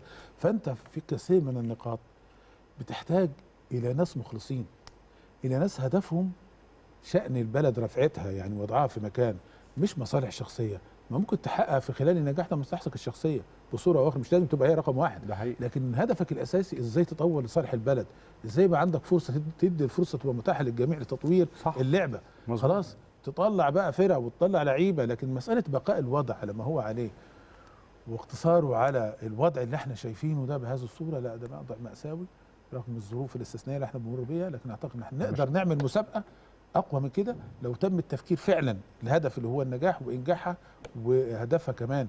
الهدف الأسمى لأن كل ده بيصب في حاجة واحدة هو منتخب مصر. طبعا. إذا ما كانش عندك دوري قوي ولاحظ إن إحنا خدنا وتصيدنا أفريقيا ثلاث دورات متتالية بفضل بفضل إيه؟ الدوري المصري الدوري المصري اللعيبه المحترفة كان داخل الدوري دوري، المصري وكان ده افضل صحيح. لعيبة وكان حتى عدد المحترفين مقارنة ما يجوش ثلاث لعيبة أو أربعة. بالظبط لكن كان الأساس فين؟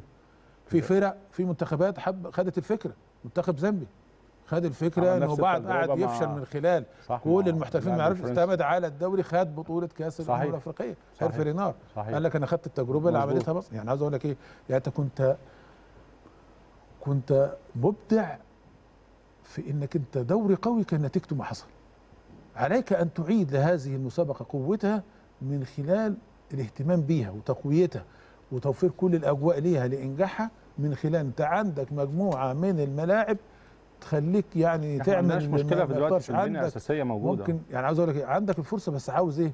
عاوز الناس الأشخاص اللي هم عندهم يعني أنا بس مش عايزك تكون متشائم النهارده حاسس يعني حاسس إنك متشائم شوية لكن. لا حاسس كمان إن الكلام طالع من قلبك ودايما بتتكلم للمصلحة العامة لكن في سحابة تشاؤم كده إن شاء إحنا الله عاوزين نشوف بس حاجة هنشوف كويسة إن لأن شاء إحنا الله. إحنا ممكن نبقى أحسن من كده آه طبعا إحنا عندنا طبعا إمكانيات. إحنا ممكن أحسن من كده مش بالكلام بالفعل بس عاوز أقول لك في كام تكة كده في ناس كده محتاجة إن هي يعني لا خلاص شكرا ندور ونطور والأفضل ونخرج بقى من دايرة المصالح الشخصية بقى. خلينا في المصلحة الأساسية. فعلا عندنا أزمة مواهب فعلا عندنا أزمة ومشكلة. أنا ش... أنا أنا من الناس اللي برفض العدد الكبير من اللعيبة المحترفين في في الدوري المصري.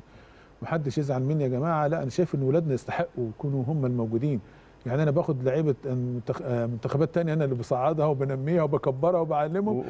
ممكن أجيب يعني كان عيب قوي نجيب مدافع محترف أجنبي. كان عيب قوي لما لما اتعمل جبنا حراس مرمى وخدوا القرار كان قرار صائب جدا ان كان تأثر حراسه المرمى في المنتخب ممكن أجيب مهاجم يعني إيه فز فلتة ده فيعلم يعلم محتاج اللي عنده مشوار طويل قوي ومحتاجة موضوع يعني تخطيط محتاج مح- محتاج محتاج- خطة طويلة الأجل وإن شاء الله يعني. نشوف بلدنا. أفضل إن شاء الله في. نهاية اللقاء طبعا بشكرك أستاذ محمود. منورنا ومشرفنا دايما ودايما على اللقاء بيك وحوارات بس إن شاء الله كنت- متفائل المرة الجاية إن شاء الله إن بإذن شاء الله. الله بإذن الله شكرا ليك. ودي الفقرة الثانية الفقرة اللي جاية إن شاء الله مع الكابتن شريف عبد الفضيل. انتظرونا بعد الفاصل.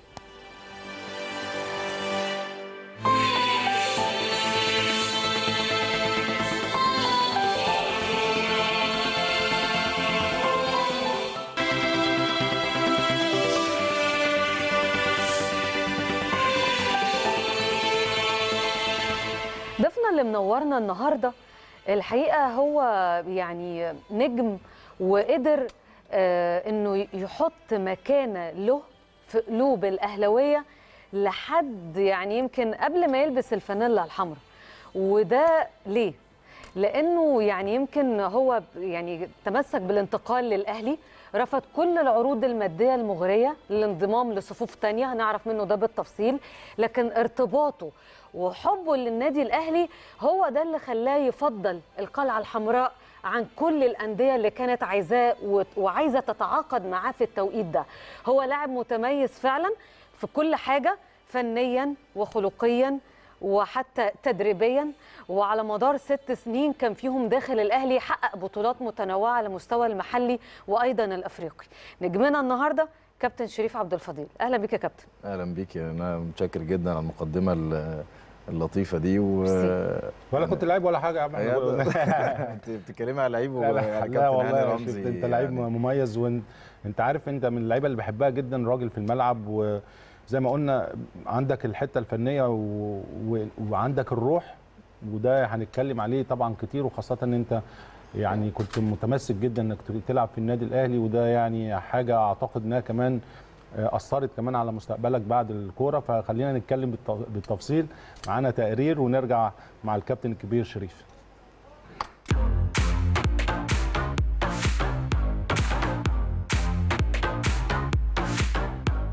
واحد من النجوم الذين احبوا الاهلي وضحوا بكل شيء من أجله. رفض الضغوط والمغريات من أجل إثنائه عن الانتقال إلى القلعة الحمراء. مدفعج المارد الأحمر شريف عبد الفضيل. ادي الكرة والتسديدة. يا ولد! يا شريف عبد الفضيل! يا يا ولد يا ولد! بقول يا ولد والكرة لسه ما لمستش الشبكة. باينة الكرة زي الصاروخ. يا الأهلي وعاد النادي الأهلي للمباراة. يا يا يا يا يا يا. بدأ مشواره مع الساحرة المستديرة في صفوف النادي الإسماعيلي ومنه انتقل إلى النادي الأهلي ليخط القصة الأجمل في مسيرته الكروية. ولد شريف عبد الفضيل في محافظة الإسماعيلية في الثاني من يوليو عام 1982 وفي عام 2003 ظهر مع الفريق الأول للدراويش وخلال ستة مواسم شارك في 96 مباراة وسجل هدفا واحدا بقميص القلعة الصفراء. أصبح عبد الفضيل محور الإعلام المصري في الانتقالات الصيفية لموسم 2009-2010 وتنافس قطبا الكرة المصرية للفوز بتوقيعه. أما عن رغبة اللاعب فكانت ارتداء القميص الأحمر. وداخل أسوار القلعة الحمراء فتحت الدنيا أبوابها لابن الإسماعيلية وبدأ رحلة حصد الألقاب والبطولات. فتوج بثمان بطولات على مدار ست سنوات مثل خلالها النادي ورفع اسمه على الصعيدين المحلي والقاري. وأحمد فتحي يلفها حلوة قوي وهدف هدف. مين ده؟ شريف عبد الفضيل شريف عبد الفضيل شريف عبد الفضيل يحط هدف جميل جميل كوبري. إنجازات شريف عبد الفضيل مع المارد الأحمر تضمنت الفوز بالدوري المصري ثلاث مرات وكأس السوبر المصري مرة واحدة. وعلى الصعيد القاري التتويج بدوري أبطال إفريقيا مرتين وكأس السوبر الإفريقي وكأس الكونفدرالية الإفريقية. وبشكل عام خاض المدافع المخضرم الذي لقب بالمدفعجي نظرا لتصويباته القوية خاض 205 مباراة عبر مسيرته الكروية. سجل خلالها خمسة أهداف وصنع ثلاثة. أما مع منتخب مصر فقد خاض شريف عبد الفضيل ثماني مباريات دولية قبل أن يعتزل كرة القدم. وعقب الاعتزال اتجه شريف عبد الفضيل لمجال التدريب وبدأ من بيته الكبير في النادي الأهلي. وحاليا يتولى منصب المدير الفني لفريق ناشئين نادي مواليد 2005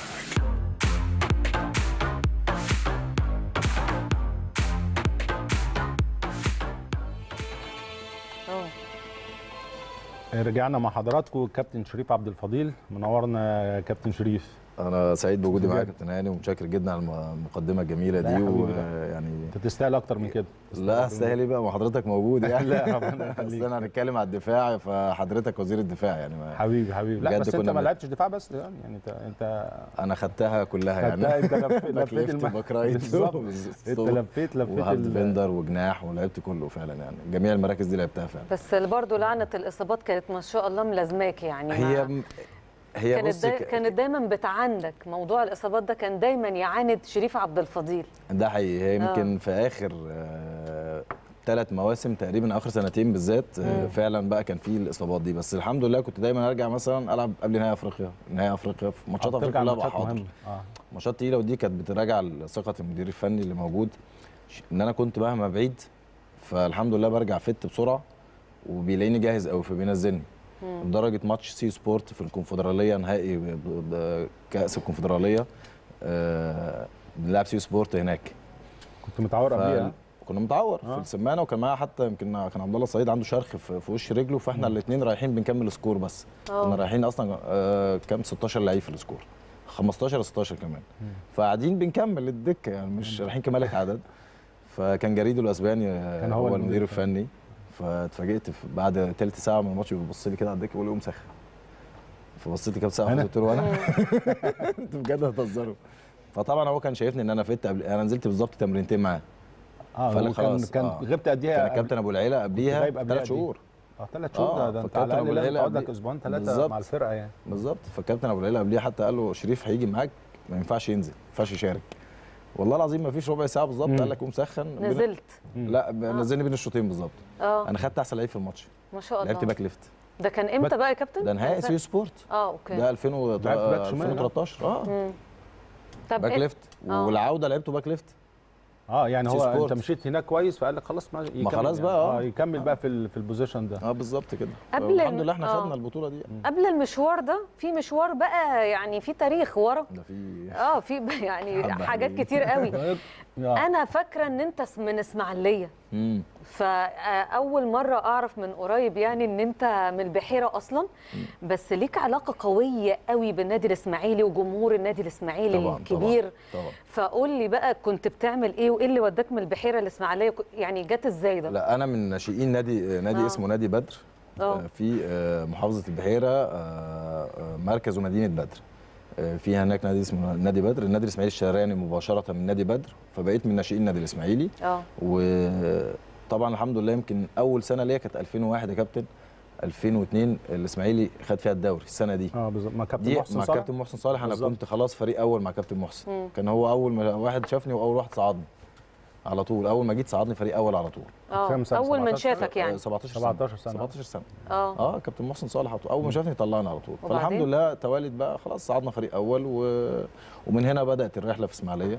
قعدت تسع سنوات متواصلة في الإسماعيلي لغاية ما رجعت آه الحمد لله النادي الأهلي بقى اشتراني بقى تمت المفاوضات وجيت النادي الأهلي يعني أيوه إنما بقى إزاي إيه؟ عايزين نعرف الحتة دي ده الحتة دي حتة كبيرة أيوه شوية. لا يعني حتة ده فيها مختلفة شن- يعني. شنطه فلوس لا، اتحطت. قدامك لا، شنط شنط؟ آه بالظبط؟ احكي لنا. ما الكابتن هاني عارف آه. آه. كان رئيس النادي ساعتها كان الباشمهندس ممدوح عباس رئيس نادي الزمالك وكان رئيس نادي الإسماعيلي ساعتها المهندس نصر أبو الحسن فأنا خلاص كان في فترة عارف يا كابتن طموحك بيقف في النادي وفي المكان فالنادي الاسماعيلي نادي كبير جدا. عايز تجدد طموحك في آه. حتة ثانية بالظبط كده. فحسيت إن صعب بقيت أوصل كل نهائي آه، كاس سوبر ما نوصلش بطولة عربية ما نوصلش نهائي قبل نهائي الكونفدرالية ما نوصلش.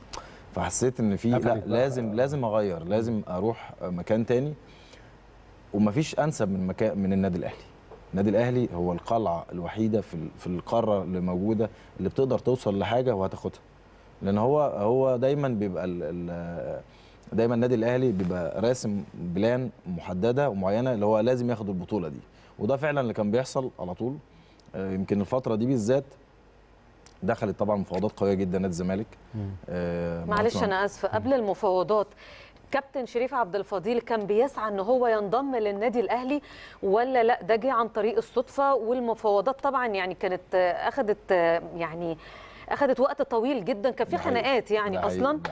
وبتقول شن أنا بحسب إنها شنطة أنت لا، لا، بتقول. شنط ف... آه فبتقول كذا في شنطة. شنط فعلا في قد واحدة كده يعني كان وفي واحدة كمان بقفل واحدة كده. بقفل. يا سلام لا آه ما أنا عملت بقيت منقطع عن التمرين زي ميسي كده دلوقتي أنت سعيد شفت ميسي دلوقتي منقطع عن التدريب هو 700 عمل- مليون ما آه ما ده منقطع عن التدريب آه. أنا عملت زيه طب قول؟ كمل لنا كمل لنا ما آه. أنا انقطعت حوالي شهر عن التدريبات لأن خلاص طبعا كان لازم آخد القرار آه. إن أنا أنفصل يمكن الكابتن علي ابو جريشه كان موجود في الوقت ده وقال لي يا شريف لازم تبقى موجود معانا وبتاع. قلت له يا كابتن أنا لغاية كده وكفاية ولازم آه لازم أشوف طموحك اجدد والله. طموحي في مكان تاني.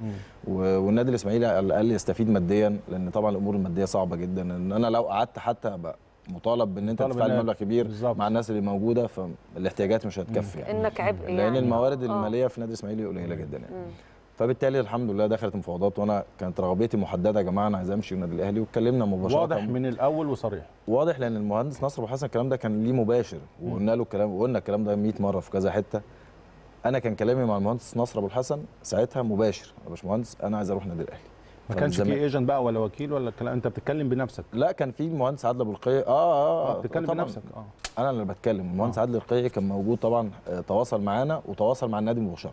بأمانة يعني okay. وكان الكابتن تامر النحاس موجود على فكرة okay. كمان في الفترة دي في, في أجزاء معينة من الحوار الحوار. لأن إحنا اختلفنا في الآخر في, نقط معينة يعني. ده طبعا مش عايز أخوض في. في, في النقطة دي بالذات يعني مم. فتمت حتة إن إحنا خلاص دخلنا مباشرة إن أنا آه، همشي ولا مش همشي هتروح فين. فالزمالك دخل في الموضوع طبعا آه، هيدفعوا 5 مليون جنيه لل- للإسماعيلي وبالتقسيط وحاجات غريبة كده مش فاهمها يعني. أخويا ساعتها راح نادي الزمالك عشان يتم التفاوض. أنا ما روحتش خالص وإحنا في دماغنا إن إحنا مش هنروح نادي الزمالك. خلاص إحنا كل ده تفاوض. آه كلام. كله مرحلة كله تفاوض. كلام. فنصر أبو الحسن قال لأخويا لازم تروح نادي الزمالك تقعد مع الناس. نادي الإسماعيلي ما ينفعش يخرج لعيب من هناك مش عايز أقول لك كده يعني النادي الاسماعيلي ما ينفعش آه، كان الفترة دي الجمهور رافض فكرة إن أنا أتباع مباشرة لحد. الجماهير كانت رافضة ده تمام انت عارف. الجماهير في إسماعيلية طبعاً. يمكن انت عارفة طبعا طبعا بما آه. إنك إيه في, ال- في, في ال area. في ال area دي فالموضوع طبعاً. فالموضوع صعب نادي جماهيري صعب. كبير آه يعني الموضوع يمكن انت ملمة بأمور الكورة يعني. فالموضوع هناك صعب جدا تخرج من الاسماعيلي مباشرة تروح لنادي الزمالك أو الأهلي وبالذات الأهلي آه okay خلاص لأن أنت طبعا ده المنافس التقليدي والنادي الأهلي بالنسبة لك. ده ماتشات ديربي ده طبيعي يعني في الكورة يعني آه فالجماهير كان في صخب جماهيري شديد جدا معترضين. مصر كان كل الكواليس مم.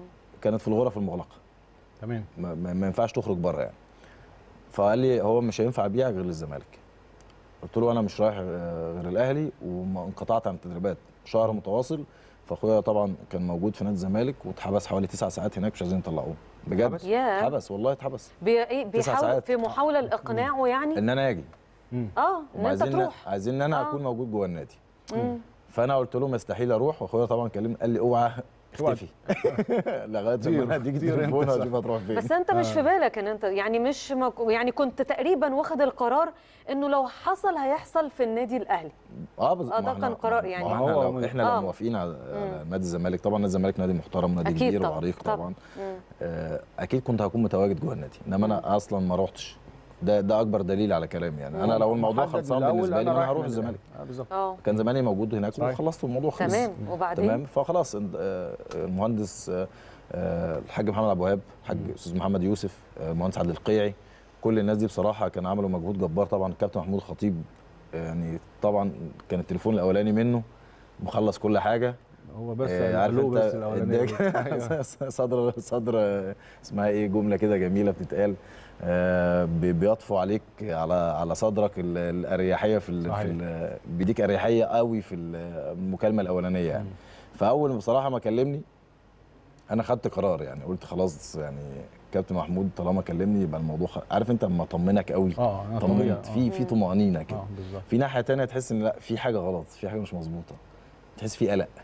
فطبعا الحمد لله خدت قرار رحت عند الأستاذ محمد الحاج محمد أبو وهاب المكتب بتاعه وكان معانا المهندس عبد القيع والاستاذ محمد يوسف طبعا وقعدنا والله العظيم ما قعدت 10 دقائق ما طبعا. أخويا كان جالنا الكلام ده كان بالليل خلاص كنا داخلين على الفجر آه بالليل ده يعني فضل الصبح. فضل في نادي الزمالك تسع ساعات. تسع ساعات من- وبعدين- من 9 الصبح من 9 الصبح رجع لك لما أنا رحت هناك قاعد لهم لغاية ما هم بقى متحركوا. وكده وجم على يعني دوبك صلينا الفجر تقريبا وكنا مضينا في 10 دقايق بالظبط. الموضوع خلصان في 10 دقايق. طبعا أثناء ما إحنا خلاص شريف في بقى لقطة طريفة كمان حصلت ساعتها. كان في جمهور نادي الزمالك كان بيلعب ماتش ودي في الترسانة في الوقت ده. فالمفروض مجلس الإدارة كان هيحتفل بيا آه، بالصفقة دي وهي إيه؟ هيحتفلوا مع آه. الجماهير. آه آه. اضحك بس. أنا مستني فاتقال لي. إن أنت اتقال لي إن أنت موجود دلوقتي أنا موجود في استاد الترسانة بلف على التراك. اللقطه اتقال دي لك انت على فكرة أول مرة أقول المعلومة دي يعني اتقال لك انت تاني؟ إن آه، أنا هو- يا آه. شريف موجود. أنت موجود في نادي موجود في الترسانة بتلف على بتلف. قلت لهم ماشي أنا بلف قلت أهو لهم أنا موجود فهم بيحتفلوا فعلا بيا وأنا أصلا مش موجود آه فهنا دي الضغط. ضامنين مليون في المية يعني هو آه، خلاص فمجلس يعني. الإدارة ساعتها طبعا كان في في مأزق كبير آه، انت- طبعا يعني انت انت مش فاهم حصل فيه كان الله يرحمه كابتن إبراهيم يوسف آه، أنا أنا الله بحترمه. جدا وبقدره كان طالع طبعا كل شوية في الإعلام شريف عبد الفضيل موجود الزمالك. خلاص خلاص. الزمالك، آه. وكابتن حازم إمام وكل الناس طالعة تقول ده خلاص موجود. رد فعل فعل بقى النادي الزمالك معاك لما خلاص بقى عرفوا وتاكدوا إنك مضيت وخلاص الصفقة دي خلصت. إيه بقى كان رد الفعل؟ هل كان في كلام؟ في رايح جاي بالظبط. ولا أنا ليا دكتور وليد دسوقي ده صاحبي صديق ليا فقدروا يوصلوا له ده آه اللي كان الوحيد اللي أنا بثق فيه وقدروا يوصلوا له يعني. مم. فقالوا تعالى دلوقتي ارجع وهتاخد اللي أنت عايزه. آه الفلوس جاهزة كاش. وانت عارف طبعا في الوقت ده كل حاجة بتبقى حاضرة. طبيعي. في, في, في آه، نقط ال- المفاوضات في الوقت الحاسم آه طبعا بتيجي بتيجي اللحظة الأخيرة بصي كل حاجة بتتفتح. يعني لو. عايزة أي حاجة هتطلع لك. يعني ما. كانش موضوع بعديها 5 مليون. كان بعديها ممكن يزيد لا ده 5 زاد يعني. مليون كان للنادي ده كان لا آه، 5 لأن- مليون لا آه. لسه أقول لحضرتك آه. حاجة 5 مليون دي مباشرة للنادي. الإسماعيلي. مش ليا آه خلاص النادي الأهلي طبعا الحمد لله كان العرض أكبر أحسن يعني أنا مم. أنا برضو بصيت للنادي الإسماعيلي النادي الإسماعيلي ماديا هيبقى ليه فلوس أعلى وفلوس كاش. وكمان أحمد صديق راح إعارة كمان أيوة، هيعرف أيوة. بلس آه يعني أحمد لعيب كمان يبقى. أنت إيه إيه بقى وجه المقارنة. طبعا راح جاي الزمالك دخل كان عايز يزود الفلوس كلها تاني عايز يزود على الخمسة مليون وعايز يعمل أي حاجة وهيزود لي أنا فلوسي كمان وكاش دلوقتي حاطة آه، موسمين. مم. كاش على طول. انت عارف طبعا في وبقيت 2008 وبقيت في النادي الأهلي. آه طبعا. ودخلت النادي الأهلي وأول يوم بقى أنا عارفة أنت كنت مع أسماء كبيرة جدا. طبعا. الجيل الذهبي ده فعلا يعني أسماء فعلا مش هتتكرر. طب سوري. لمقاطعتك بس. في في حاجة كمان. آه. أنا في اليوم ده يا كابتن كان صباح تاني يوم الانتخابات. في النادي الأهلي. النادي الأهلي. آه فانت عارف آه، أول ما دخلت النادي كان في صخب كبير جدا أول ما شافوني شالوني على الأكتاف. كان في الجزيرة طبعا. آه في الجزيرة. آه. فدخلوني جوه عايزين يدخلوني عند صناديق الانتخابات. فكابتن محمود خطيب شافني. راح جاي مزعق قال لي خدوه على الأوضة مش إحنا اللي بنعمل الحاجات دي.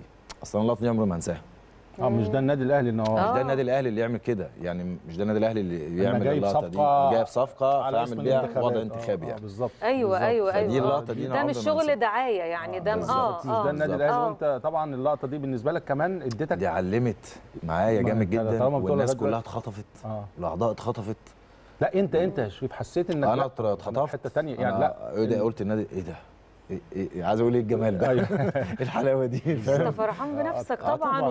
لا، والبطولات بص، البطولات دي النادي الواحد الحمد آه. لله وأنت كابتن هاني عارف طبعا لعيبة كتيرة جدا مشيت من النادي حقوقها بتجيلها لغاية عندها. لعيبة كتيرة ده جدا حقيقي. والله العظيم آه، مدلك مدرب إداري فني أي عامل بيمشي أو موجود بياخد حقه في النادي الأهلي. بياخد حقه كمان يا شريف بيروح بيكون بيشتغل في نادي تاني ده حقيقي. وبيوصل له حد من النادي الأهلي. أصل أنت كنت من سنة ونص كنت واخد معانا بطولة بالظبط. وبيوصل له الفلوس بتاعته هو اللي أيوة، الفلوس أيوة. وصلت له آه، بعديها آه. بسنتين يعني.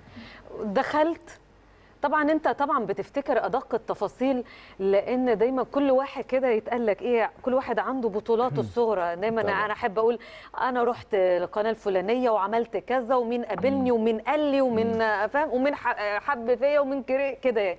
أنت بقى دخلت لقيت الأسماء دي أبو تريكة بركات مين تاني فكرني لا ده يعني جبت ده وائل يعني. بركات وائل جمعة وسيد جمعه وائل وكان طبعاً. سيد موجود آه، وأحمد فتحي آه، آه آه. كل الجيل ده كان موجود وعاشور و...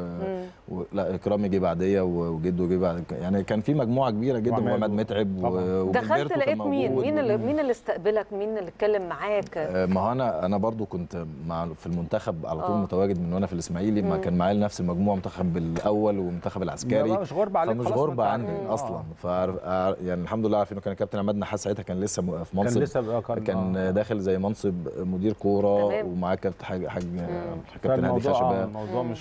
فأنا مش غريب عنهم. آه إنما أنا دخلت أوضة اللبس أنا اتخضيت في رهبه بالنسبة لي. أكيد طبعا. طب داخل النادي الأهلي. عكس خالص ما بتقابلهم. أكيد في لا المنتخب النادي دي الأهلي حاجة تانية. آه طبعا. يعني بعيدا عن دول زمايلي اللي أنا شايفهم هناك أنا خلاص دول زمايلي اللي أنا هبقى معاهم. موضوع مختلف تماما. دول زمايلي اللي كنت بنافسهم لا ده زمايلي اللي أنا هبقى زميلهم في الملعب. معاهم. موضوع آه. مختلف تماما. فطبعا إحنا بنتكلم في الناس دي. أنا دايما آه، يمكن كانوا محققين بطولات قوية جدا بالذات في 2006 الإنجاز الغير مسبوق اللي عملوه انتصارات متتالية لضرب أرقام قياسية ما حصلتش قبل كده. فبص ألاقي نفسي بقيت وسطهم. ده بالنسبة لي كانت يعني حاجة كبيرة جدا. والحمد لله أنا لما دخلت انسجمت بسرعة جدا وسط المجموعة. والناس دي أنا قريب ليهم جدا. ولغاية دلوقتي إحنا كلنا أصدقاء يعني آه. الحمد لله.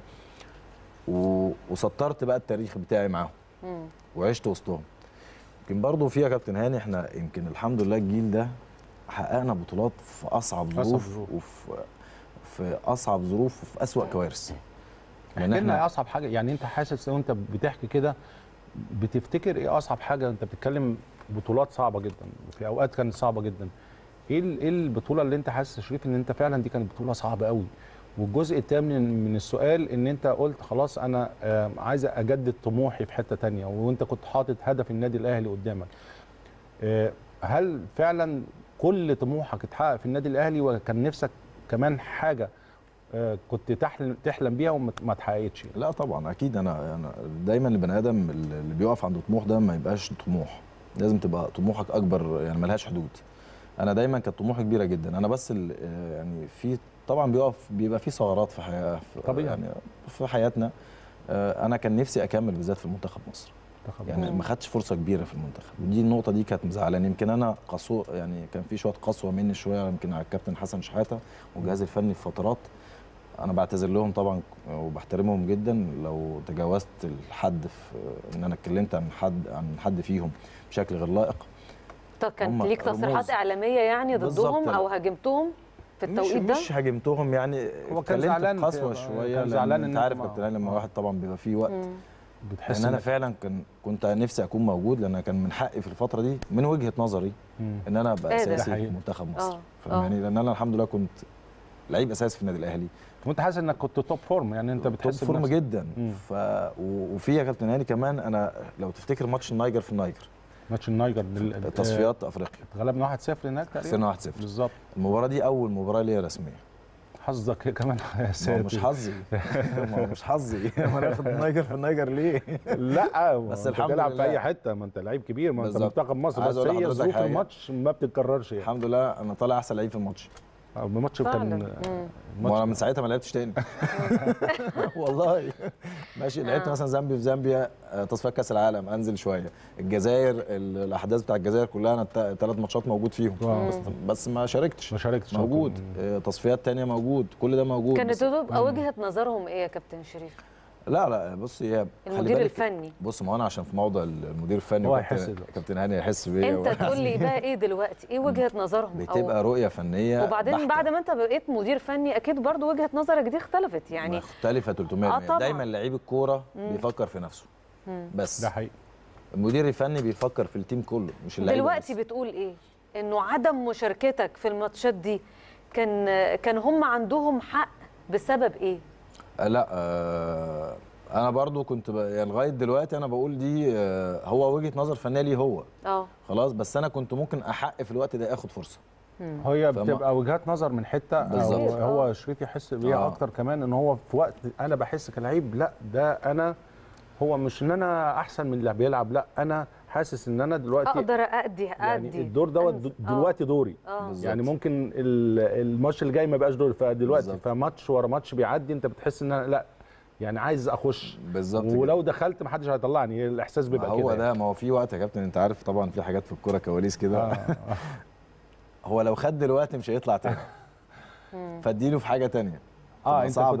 آه يعني أنت كنت عامل إن برضو في شوية حسابات معينة غير حسابات الفنية يعني ده انت طبيعي أنت كنت ده, ده طبيعي في الكورة آه. وده اتعودنا عليه كتير واتحطينا في مواقف أكتر من كده كتير حتى مع الفرقة بتاعتنا حتى مع الفرقة اللي بنلعب بنشارك فيها مش المنتخبات بس آه، بنتحط في ظروف ضغط كبير جدا في مدرب بيلعب على عقلية لعيب المنتاليتي يعني مستر مانويل جوزيه أستاذ في القصة أستاذ دي طبعا. بيلعب على عقلية اللعيب وعلى شخصية اللعيب في آه. المقام الأول لأن أنا لما أجي دلوقتي آه. بما إني دخلت في مجال التدريب فأنا آه. بدرس كل شخصيات المدربين من جوزيه مورينيو لجوارديولا برافو عليك، لزيدان برافو عليك. لمانويل جوزيه معايا التجارب الخاصة أنا مستر بوكير الألماني اللي اشتغل معايا ده الراجل ده أنا بعشق فكره أنت بتقعد. تذاكر لهم يا شريف طبعا شخصية المدرب ده لازم ما هو أنا في لعيب. معلش يعني آه الشخصية البرتغالية بالذات يا كابتن هاني المدربين البرتغاليين لو تلاحظ عن بيلعب على على عقلية اللعيب على شخصيته يعني جوزيه مورينيو عمل مرة كان ماسك تشيلسي فال half آه، defender بتاعهم كان اسمه آه آه ميكيل جون أوبي ميكيل ميكيل. جون أوبي ميكيل النيجيري بالظبط كده. دوت اللعيب ده في مرة وهو بيلعب جوزيه حس إن هو مش تمام راح جاي ماسك ورقة مطبقها وحاططها واداها للعيب بيلعب في ال game. قال له اداها له؟ وقال له اديها له الورقه مم. خلاص. اللعيب ده مفيش دقيقتين اللعيب طلع أقصى ح- أقصى power عنده في الملعب 200% okay. خلاص؟ يا آه. الماتش خلص تشيلسي كسب. بعد ال game قالوا له إيه الورقه اللي أنت اديتها له؟ قال لهم أنا قلت له لو إحنا كسبنا النهارده هديك أنت بالذات يومين أجازة. آه طبعا آه. أيوه. ما هو أنا عايز أخرج الطاقة المكبوتة جواك. عايز أشيل ال stress العصبي اللي عليك. أنا اخليك مميز. أنا اخليك أنت مميز. آه بالظبط. أنا هتعامل معاك بميزة واللعيبة التانية تحس إن أنت بقيت مميز. فانا أنا مميز طب أنا بقى هثبت له إن أنا مميز بتعمل. كده مع 2005 عن... لا بص بتعمل كده. لا لسه العقلية ال- دي لسه الولاد لسه صغيرين. اسلوب معين لا بس أنت برضو مميز يعني أنا أنا- لسه هندخل في قطاع آه. الناشئين و2005 انت أنت بتعمل عمايل يعني بس لا ده أنا انت لا فعلا هو هو أنا ليا- آه أنا ليا فكر إن شاء الله بإذن الله يعني حاجات أنت بدأت تعمل كده بدأت تطبق الفكر ده اللي أنت جاي عليه و... بدأت وفي كابتن. هاني لما كان معانا في مساعد مدير قطاع الناشئين آه. من سنتين مع كابتن فتحي مبروك آه، كان جاي آه، حاطط خطة وبلان معانا مم. وحاطط رسم صحيح. للقطاع وشايف رؤية فأنا كنت بقول له يا كابتن هاني أنا أنا بادئها من تحت قوي أنا عايز أطلع سنة فوق صح. قال لي لا ابدأ من تحت ده حقيقي هتتعلم. فمن هنا بنتعلم هي قصه إيه؟ فعلا هو شريف دايما ودايما خلي بالك برضو نظرة النظرة دي والثقافة دي مختلفة شوية عن بره يا شريف مم. هنا اللعيب بيحس إن أنا لأ أنا لعيب دولي لعبت ماتشات كتير بالظبط فمن حقي إن أنا أمسك حاجة على الأقل فرقة فرقة 18 أو 19 سنة بره الموضوع مختلف خالص زين الدين آه. زين الدين زيدان. زين الدين زيدان. قبل ما يمسك فريق كان ماسك فريق الشباب بتاع ريال آه. مدريد أيوة. زين الدين زيدان فهناك هم عندهم الثقافة دي أفضل شوية وأنا قلت للشيف لأ. امسك تحت صح خليك تحت شوية عشان كل ده كل ما بتتعلم انت بتزيد بتفرق بتفرق. شخصية آه. اللعيب بتضيف وعن لخبراته. شخصية عايز أقول لك المدرب آه. يعني. أنت مش فاهم بجد السنتين دول فرقوا معايا إزاي طبعا مم. طبعا لا غيروا شخصيتي تماما آه والله بجد مم. والسنة دي لما يمكن الحمد لله أنا مترشح من السنة اللي فاتت إن أنا أبقى مدير فني على طول وكنت يعني أنا كنت طبعا طبعا أمسك فرقة أكبر بس هي في المراحل السنيه دي آه. كلهم شبه بعض يعني. آه إنما بجد في السنتين دول اتعلمت كتير جدا آه اتعلمت وهتتعلم كمان السنة دي أكتر ويعني أنت بالظبط. هتحس إن أنت بتطور نفسك وكويس إنك بت- بتقرأ وبتدرس طبعا آه، كمان أنت قلت لي إنك بتقرأ الشخصيات وده مهم طبعاً. جدا ما قلتليش آه ال- الفنيات موجودة كتير وال- الفنيات آه لا. لكن تلاقي أفضل أنت بتقرأ الشخصيات عشان تشوف أنهي أفضل شخصية قريبة من شخصيتك أنت لأن مش. هتمحي شخص- شخصيتك. أكيد طبعا. فأنت هتحاول بقدر الإمكان إنك تاخد نفس الطريقة ونفس الأسلوب في التعامل يعني. أكيد طبعا. يمكن حتة التدريب دي مختلفة تماما. أنت شق التدريب ده. أنا بتعامل دلوقتي مع مين؟ مراحل سنية. سن 16 سنة ده. بجيب كتب وأقعد أقرأها. برافو عليك. آه، السن ده هتعمل معاه إزاي؟ خلاص؟ وبعدين الثقافة. طيب في ولد مثقف؟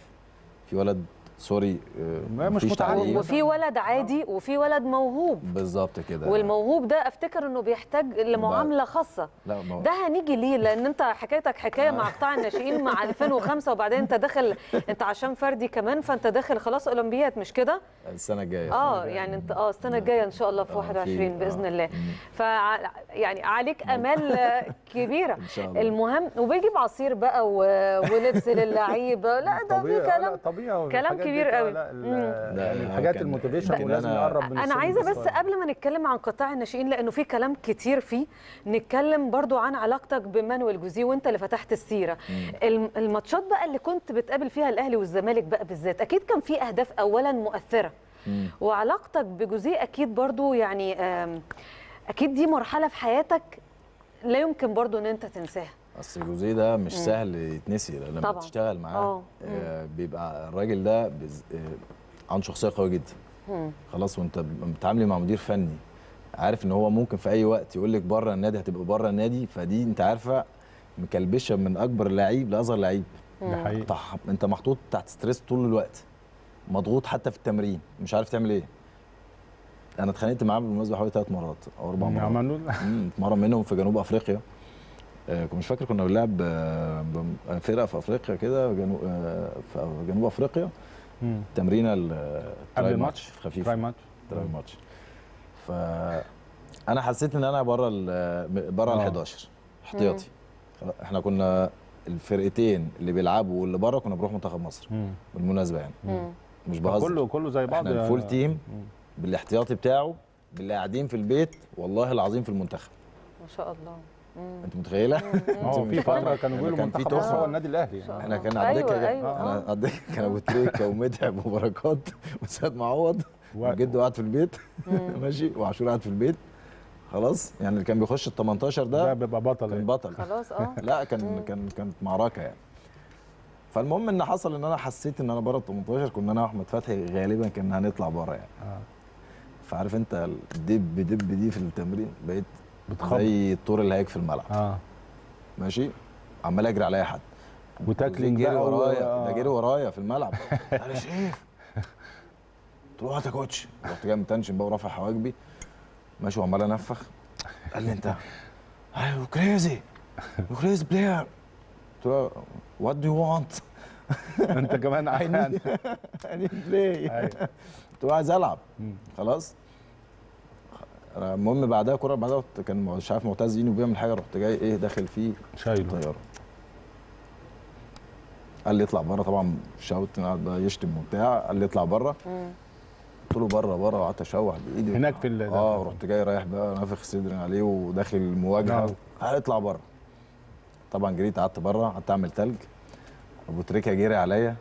قال لي قوم بسرعة صالحه احسن لو قعدت فهمه، كمان لو اتأخرت. دقيقه ما هو لو اتأخرت. بره قال لي اجري ما. تقعدش تعمل اجري تعالى راح جاي واخدني أنا معايا صور لل- للواقعة دي بالظبط والله. للقطه دي لقطة بص وأنا آه. ماسك اينه وماسكه كده وهو واقع على الأرض آه. لما بقومه بعد ما أنا ضربته بقومه قوم خلاص. وبعدها احداث جوزيه وبعد كابتن سامح حفيظ وابو تريكة هو ماسكني كده وإحنا واقفين أنا وهو وجوزيه آه خلاص ده انت بعد القعدة ورايح. واحد قاعد لنا بيصورنا. مم. فالمهم خلاص بصراحه بس رحت بسرعة فهمت رسالة أبو تريكة ورحت بقى ت- له بقيت يعني في وشه آه. ف... راح جاي يخلص الج... الكلام وبتاع و... وتأسفت له وبعدها شو؟ قال لي تعالى بقى على جنب. جاي واخدني. قال لي بص أنا مش هلعبك معايا third back خالص. قلت له ليه؟ قال لي أصل أنت مش طويل شوية. مم. عارف بقى؟ قلت له أنا مش طويل قلت له هات أطول واحد عندك وخليه ينط جنب معايا. قال لي لا أنا هلعبك back right. أنت معايا back right بس. قلت له ماشي يا coach أنا هلعب أي حاجة أنت عايزها. بدأني تاني يوم back right. بدأت back right. بدأت back right. بس هي اللحظة اللي بتتكلم عليها برضه يا شريف ديت ب- برضه عشان الناس ما تفهمش غلط. لا. هي لا. بتبقى أنا بس عشان آه، أنا آه، بتكلم آه، عشان. برضه الناس ما تاخدهاش في حتة آه، تانية. آه. لا لا. لا في في لحظة من اللحظات غيرتي إن أنا عايز ألعب وحماسي إن أنا عايز أكون موجود من ضمن ال... على فكرة ده ده بتبقى ساعات ميزة بس لما بتزيد شوية بيبقى لازم يبقى فيها موقف معين من المدير الفني. وأكيد فهو- عدت على كل اللعيبة آه، يعني طبعاً. الإحساس ده. ده طبيعي جدا. آه طبعا. أنا هاجي لكم آه. بقى في آه القصص دي. ده طب- طبيعي في إطار إن أنت متحمس إنك عايز ت- عايز تلعب الماتش يعني. لعيبة الكورة دايما الأحداث دي كلها بتحصل آه. مناوشات في أوض اللبس وفي الغرف المغلقة. وفي تكسير وفي ضرب وعندنا sir أليكس لما ضرب بيكهام sorry يعني بال shoes. وده بيكهام وده sir اليكس ومانشستر يونايتد. الأوض المغلقة في في, في كرة القدم فيها كل شيء. اللي تتخيليه قولي ما تتخيليش صحيح. ده طبيعي جدا. فاللي بقوله لك ده حدث. لا هيحصل اللي جاي بقى. خش على اللي بدأت الماتش. غيرني في الدقيقة 43 انت باك يمين. الشوط الأولاني. ده ما استناش بين الشوطين حد ما- خلي بالك؟ الدقيقه 43 بقى. فاهم؟ اقعد. غيرني. خلاص. هو خد هو عايز دي. لو كنا بس كنا وحشين يعني في ال game وأنا أنا وجودي في الملعب ما كانش مظبوط. امم آه. كان لازم يعمل التغييرة دي عشان يظبط ال game وظبط ال game عشان يعمل، أول ما أنا آه. خرجت. آه. يعني هو لعب على الحتة إن هو طب أنت عايز طب طب خد بقى واقعد ما تفتحش بقى آه آه يعني هو برضو اشتغل. بس فيها حاجتين. آه. لو أنا نجحت يبقى okay. يبقى كسب لعيب في position جديد. تمام وأنت بالظبط. ضامن وتمام وكويس. مفيش مشكلة لا خلاص تعالى بقى. يبقى أنا اديتك في حالتين في الدرس وخدت درس وفي نفس الوقت أنا عدلت الجيم بتاعي. تمام. دي شخصية مدرب ودي رؤية مدرب وده بيعرف انت. اتعلمت منه حاجة النهارده بتحاول ان انت تضيفها للولاد دول في في 2005 وده هنتكلم فيه بالتفصيل بس بعد الفاصل البيت الكبير.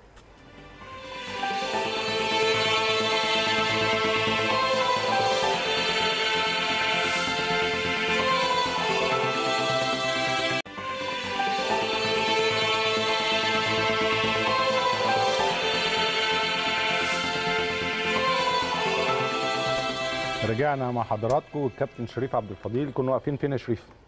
عند حاجات كتير قوي كنا بنتكلم قبل الفاصل عن طبعا آه، مستر جوزيه وعلاقتك بيه في الفترة دي والعلاقة آه. بيها وانت كمان استفدت أكيد استفدت دلوقتي من انت بتقول لي كمان الشخصية بتفرق جدا وجوزيه كمان أنا عارف إن هو آم، بلغة الكورة كده صايع كورة وبيعرف. يتعامل مع. اللعيبة كلها بشكل بالظبط.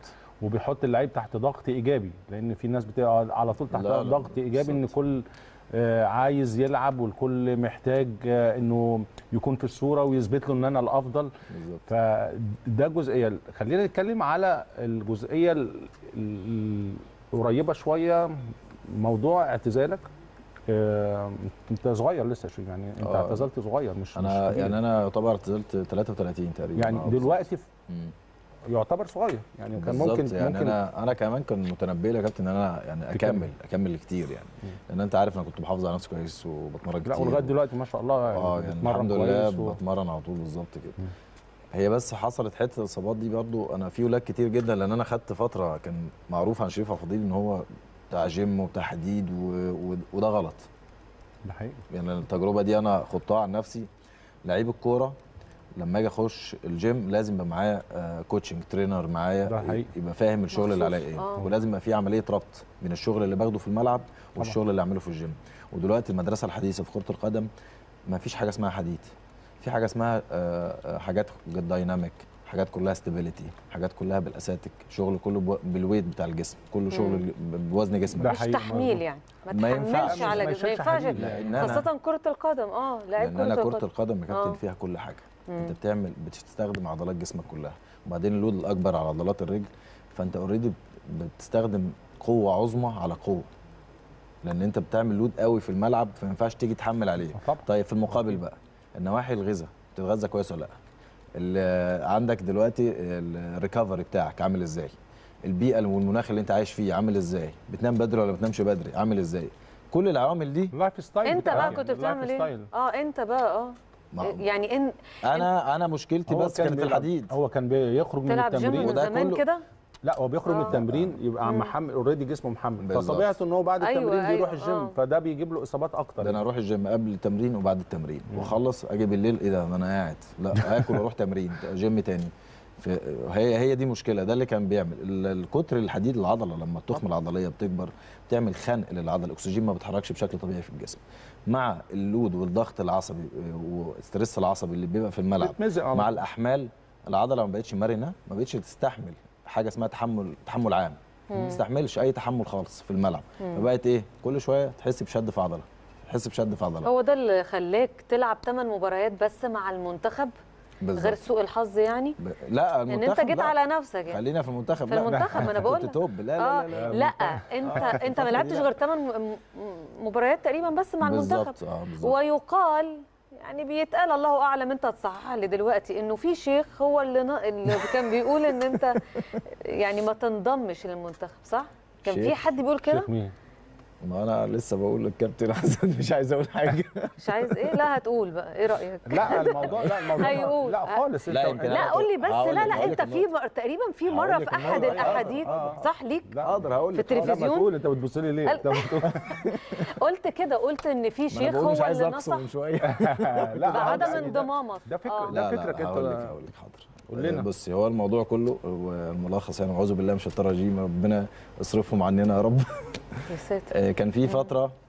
آه، يمكن أنا قلت في بعض الأحاديث أو كده بعض البرامج الرياضية إن في المنتخب في ناس بتستعين بدجالين أو شيوخ يعني وبيؤمنوا بفلان وعلان وحاجات من دي يعني.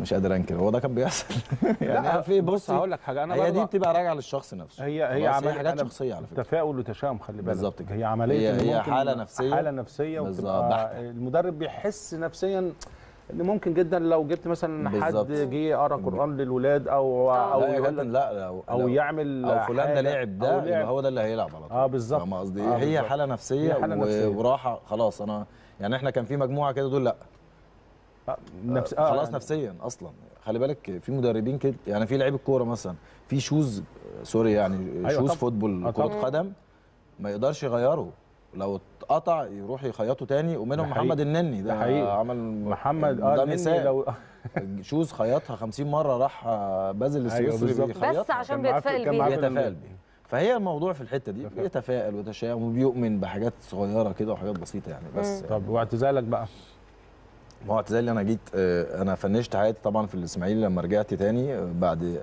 أنا بعد ما مشيت من الأهلي على طول أنا آه، قعدت ست شهور ما لعبتش لأن طبعا كنت في فترة هي الفترة بقى اللي بتتكلم فيها اللي هي الإصابات كتير وشد. ومزق شوية بس وشد أنا طبعا كنت جددت ثلاث سنين في, آه، في آه، الأهلي آه. وتم فسخ العقد بعد كده أنا ومحمد ناجي جده. فالفترة دي بقى كان خلاص القيد قفل في. الأندية فكان صعب جدا أروح في, في, في نوادي كانت متاحة حاجات بسيطة قوي آه. فكان صعب قوي بالنسبة لي. كان الكابتن أيمن شوقي كان موجود في أمريكا ساعتها. آه. فقلت له أنا بالمرة هاجي لك أعمل check كامل على جسمي وأشوف أنا فيا إيه. ما أنا مش عارف فيه إيه. آه بالظبط. فرحت هو قاعد في فيرجينيا هناك رحت له وخدني وداني لدكتور كبير جدا هناك وعملنا consult كامل. يمكن هو كان قال لي ما تفكش أي حاجة أنت زي الفل وبتاع أنت أنت تخش في الحيطة وحاجات. كده يعني. قلت له بيقول لي أنا عندي إصابة مزمنة. قال لي مفيش حاجة اسمها كده. إيه إصابة. مزمنة دي؟ في الطب الرياضي مفيش حاجة اسمها كده في الطب. عموما مفيش حاجة اسمها كده. كل حاجة وليها علاج. قال لي في حاجة اسمها تأهيل تدري- تدرج. أنا برضو كان في نقطة برضه يا كابتن أنا مش عايز أرمي اللوم على نفسي كتير أنا كنت برميه ساعات على ناس وناس. آه، الحتة الطبية دي آه، حتة التأهيل. التأهيل دي أنا ما ينفعش أبقى لسه نازل وتلعب مرة واحدة. آه ما ينفعش أبقى لسه نازل وألعب مرة واحدة. ده كان بيحصل معايا كتير برضه مش الحديد لوحده هو يعني. استعجال إن- آه لا لا. طبعا يعني ممكن بيبقى دايماً محتاج فترة شوية إنك تخش وتبقى آه. تدرج في تدرج. لغاية ما توصل كده. لل maximum يعني بتاعك تاخد ربع. ساعة في نص بالظبط الشوط لغاية ما تقدري تخشي تاني ترجعي. ال top form بتاعك مم. اللي كنت متعود عليه يعني. هي دي بس كانت المشكلة طبعا سافرت أمريكا وقعدت مع الكابتن أيمن. قعدت شوية وبتاع وبعد كده رجعت كنت مستسلم تماما إن أنا ألعب okay بعد كده لقيت كابتن عماد نحاس بيكلمني كان ماسك أسوان قال لي يا شريف تعالى ألعب معايا اجهز الست شهور التانيين دول ربنا يكرمك وتقف على رجلك وترجع إيه تقف على رجلك تاني قلت خلاص ماشي. هلعب كورة بقى أنا حلو، مش هقدر ألعب. آه. مش هقدر أبعد مش قادر عايز ألعب. فقلت له خلاص يا كابتن عماد أنا جاي لك وبتاع. وأنا في الطيارة رايح لقيت بتوع إسماعيلية بيكلموني. إسماعيلية كان موقف هيبقى صعب قوي بالنسبة لي أصلا أرجع إسماعيلية تاني دي صعبة قوي قوي بجد. ف لقيت كان آه، الحاج محمود أبو السعود. كان هو رئيس النادي رئيس ساعتها. النادي آه. راجل محترم جدا وبيحب النادي جدا وصرف على النادي كتير جدا مم. بدون مقابل. مم. جدا. والله العظيم. الراجل ده كان بيدفع كل حاجة من جيبه. وأنت عارف النادي الاسماعيلي ما فيهوش وارد. ما فيش آه، أي موارد موارد ضعيفة يعني. جدا آه. آه، ففعلا الراجل كلمني وراجل محترم جدا فرجعت. يمكن الحمد لله في السنة دي أنا لعبت حوالي أربع خمس ماتشات وصلنا قبل نهائي كأس مصر. لما خسرنا من الزمالك وما لعبتش المباراة دي. يعني كسبنا المصري وقبلها أسوان وقبلها الاتحاد وكان قبل النهائي قدام الزمالك ما لعبش قبل. نهائي الزمالك آه قعدوا يتحايلوا عليا عشان تلعب وبتاع آه، اتخبطت قبليها كان أنكر رجلي كان. حصل له أوكي خلاص من المشاركات دي حاجة تانية آه. أنكر رجلي ورم وبتاع علاج علاج ما المهم عرف طبعا خسرنا ثلاثة في المباراة دي حصل انقلاب في إسماعيلية فمشي نصر ابو الحسن جه. المهندس إبراهيم عثمان فطبعا آه، كان في مجموعة كده عارف انت بقى تحس ان هم محسوبين على رئيس النادي اللي في حاجات آه، كده الحاجات اللي حاجات إدارية بسيطة كده okay. طبعا ما كناش نحب نتكلم فيها بس هي إيه فوجئنا إن إحنا مستبعدين تماما حوالي مجموعة كبيرة حوالي 12 لعيب أو 13 لعيب. وأنت من- منهم من طبعا. ال team آه، طبعا. آه. آه دول محسوبين على مجلس الاداره اللي فات. يعني. بمعنى صح. بالظبط يا آه، كابتن. okay. فحاجات مش لطيفة خالص. okay. آه لعيب الكورة عامل زي السمك ما ينفعش يطلع بره المية ده حقيقي فبنلف طول التمرينات يقول لك ممنوع تنزل التمرين تلف حوالين الملعب وأنا محمد صبحي وبتاع لعيبة كبار كباتن. الفرقه مم. أنا ومحمد صبحي كباتن الفريق. عمالين نلف حوالين الملعب فحصل بقى مشاكل وحاجات كده فقلت لهم لا لا حلو قررت إنك تمشي خلاص. كده طيب، خلاص. أنت علاقتك برضو بجمهور النادي الأهلي علاقة يعني الحمد لله. خاصة الحمد جداً. لله طبعا طبعا. وفي حقيقة في ناس عايزة يعني توجه لك كلمة وتشوف علاقة يعني علاقتك بيهم وصلت لحد فين من خلال التقرير ده. شوف معانا أوكي.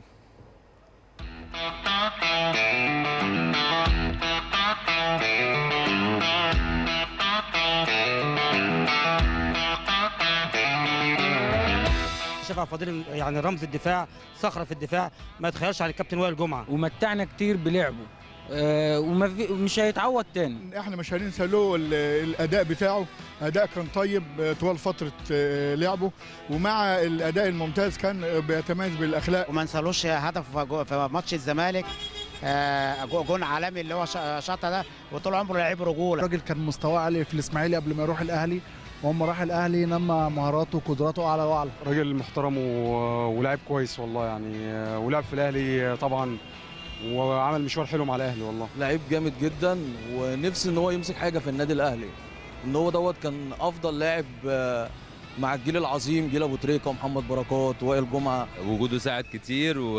وأنا حبيت لعبه من الماتشات اللي شفتها له في الوقت الحالي يعني. كابتن شريف عبد الفضيل ده كان لعيب كويس جدا كان مدافع صخرة. لعبة حلوة بلفة داخل المنطقة. بقول لحضراتكم فرق الخبرات وأول أهداف اللقاء براسيه شريف عبد الفضيل. لعيب عصر الجيل الذهبي آه، زي أبو تريكة زي وائل جمعة آه، زي سيد معوض. وكان من الركائز الأساسية في النادي الأهلي. شريف عبد الفضيل فعلا لاعب بدرجة مقاتل. كان بيموت نفسه في الملعب وبياكل النجيلة زي ما بيقول المثل البلدي.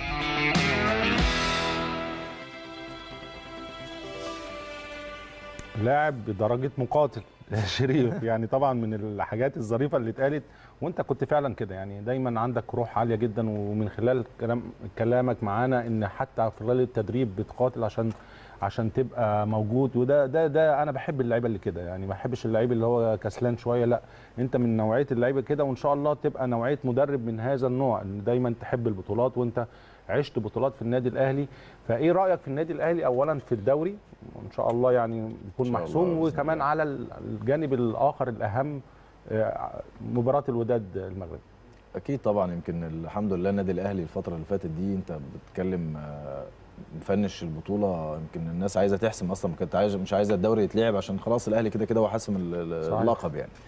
فدي حاجة تحسب للأهلي. آه، النادي الأهلي آه، إحنا وإحنا بنلعب حتى الحمد لله. يمكن آه، كنا في في سنة إحنا فرق 12 بونت عن الزمالك. كان هو ال- آه، الزمالك كان في المركز الثاني آه، آه. كان هو المركز الأول. وإحنا مركز كنا فارق 12 نقطة. آه آه، فيمكن أنا كنت بقابل الناس في الشارع بيقولوا لي الدوري خلاص راح منكم يا كابتن وبتاع. قلت لهم يبقى أنتوا ما تعرفوش النادي الأهلي. خلاص لأن إحنا كان دايما في الغرف المغلقة بيبقى في كواليس كتير يمكن الكابتن كان عارفها كان أيام الكابتن حسن حمدي وكابتن محمود خطيب لما كان بيجي يخش يتكلم معانا. لما كان بيحصل أي مشاكل حاجات كده صغيرة كان يخش يجي لنا مرة أو مرتين طول السنة. هي مرة أو مرتين بيخش الأوضة معانا في الاجتماع الكبير. أنت ما تفكرش في حاجة خالص فكر. كورة بس. تاكل تشرب تنام كورة. مالكش أي مشاكل تانية بتاعتنا إحنا. هي دي بقى حتة الإدارة اللي بنتكلم فيها. والحمد لله النادي الأهلي ماشي على على الخطة دي بقاله كتير جدا. وعشان كده النادي الأهلي غير. عشان كده النادي الأهلي الناس كلها بتحاربه. عشان كده النادي الأهلي الناس كلها نفسها بص عليه هو مش مركزة مع نفسهم. هم يعني دايما أنا رأيي يعني بحب دايما إيه ما هو الناجح دايما الناس بص عليه. ما هو انت لو مش ناجح أنا هبص عليك ليه؟ صح. انت مش لو مش, مش رقم هتلفت واحد نظري أصلاً. أنا هبص عليك هت- ليه؟ آه. بس القصة الأغرب ال- إنك الناجح اللي بتبص له آه، ممكن تشتغل تبقى ناجح زيه لكن أنت بتعمل إنك عايز تفشله عشان تبقى أنتوا الاثنين فاشلين. دي القصة الغريبة في الموضوع يعني. فهو دايما النادي الأهلي الحمد لله بيبقى سباق بكل شيء. الحمد لله النادي الأهلي دلوقتي آه، يمكن بطولة الدوري محسومة بشكل كبير جدا. وأنا نفسي ان شاء الله يكملوا على كده بنسب آه، مكسب كبيره عشان تحقق سكور. دي كله بيتكتب في التاريخ. طبعا. ده في موسم. كذا كذا أنا حققت عالي. آه طبعا. ده كله بيتكتب في التاريخ. صحيح. آه، للنقطة الثانية طبعا الماتشات الأفريقية اللي جاية. آه، عندنا ماتش الوداد ده ماتش مهم جدا.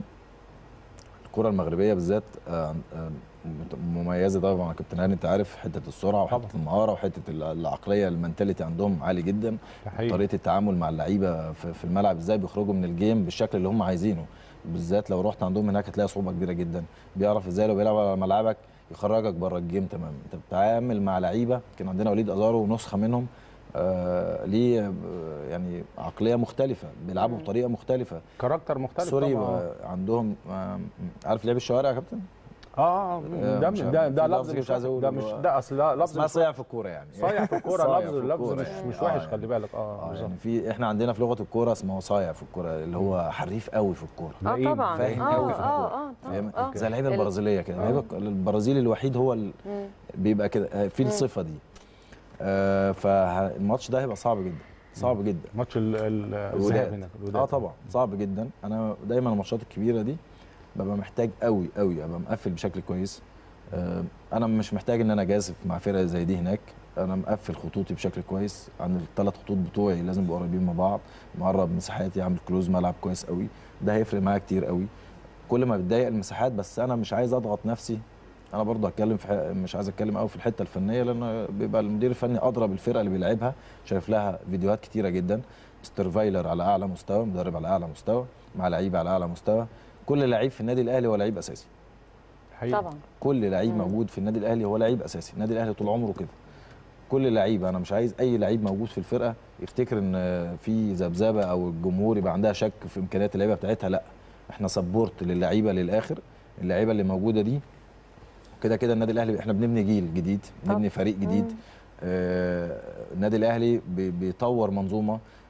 زي قاعدة الناشئين دلوقتي بتتطور إن شاء الله عشان تخدم الفريق الأول أنا عايزة أتكلم بقى ده. الموضوع ده لأن قدامنا خمس دقائق طيب يلا. وإن شاء الله ربنا يكرمنا في أفريقيا و والفوز إن شاء الله يكون للأهلي. قطاع الناشئين بما إنك بقى ذكرت نقطة إنه الأهلي سباق في كل حاجة فقطاع الناشئين هو قطاع المستقبل. والأهلي دايما آه، نعودنا إنه ما بيبصش تحت رجليه. صحيح. بيبص لمسافات بعيدة جدا. وعايزة أتكلم عن فكرة أنت عندك في 2005 آه، ولاد موهوبة جدا. طبعا. أنا عارفة إن هم كلهم بيتفرجوا علينا دلوقتي. أنت أكيد لما بتيجي تتعامل مع أي ناشئ بالذات الموهوب بيكون أكيد ليه شخصية تانية ليه طريقة تانية.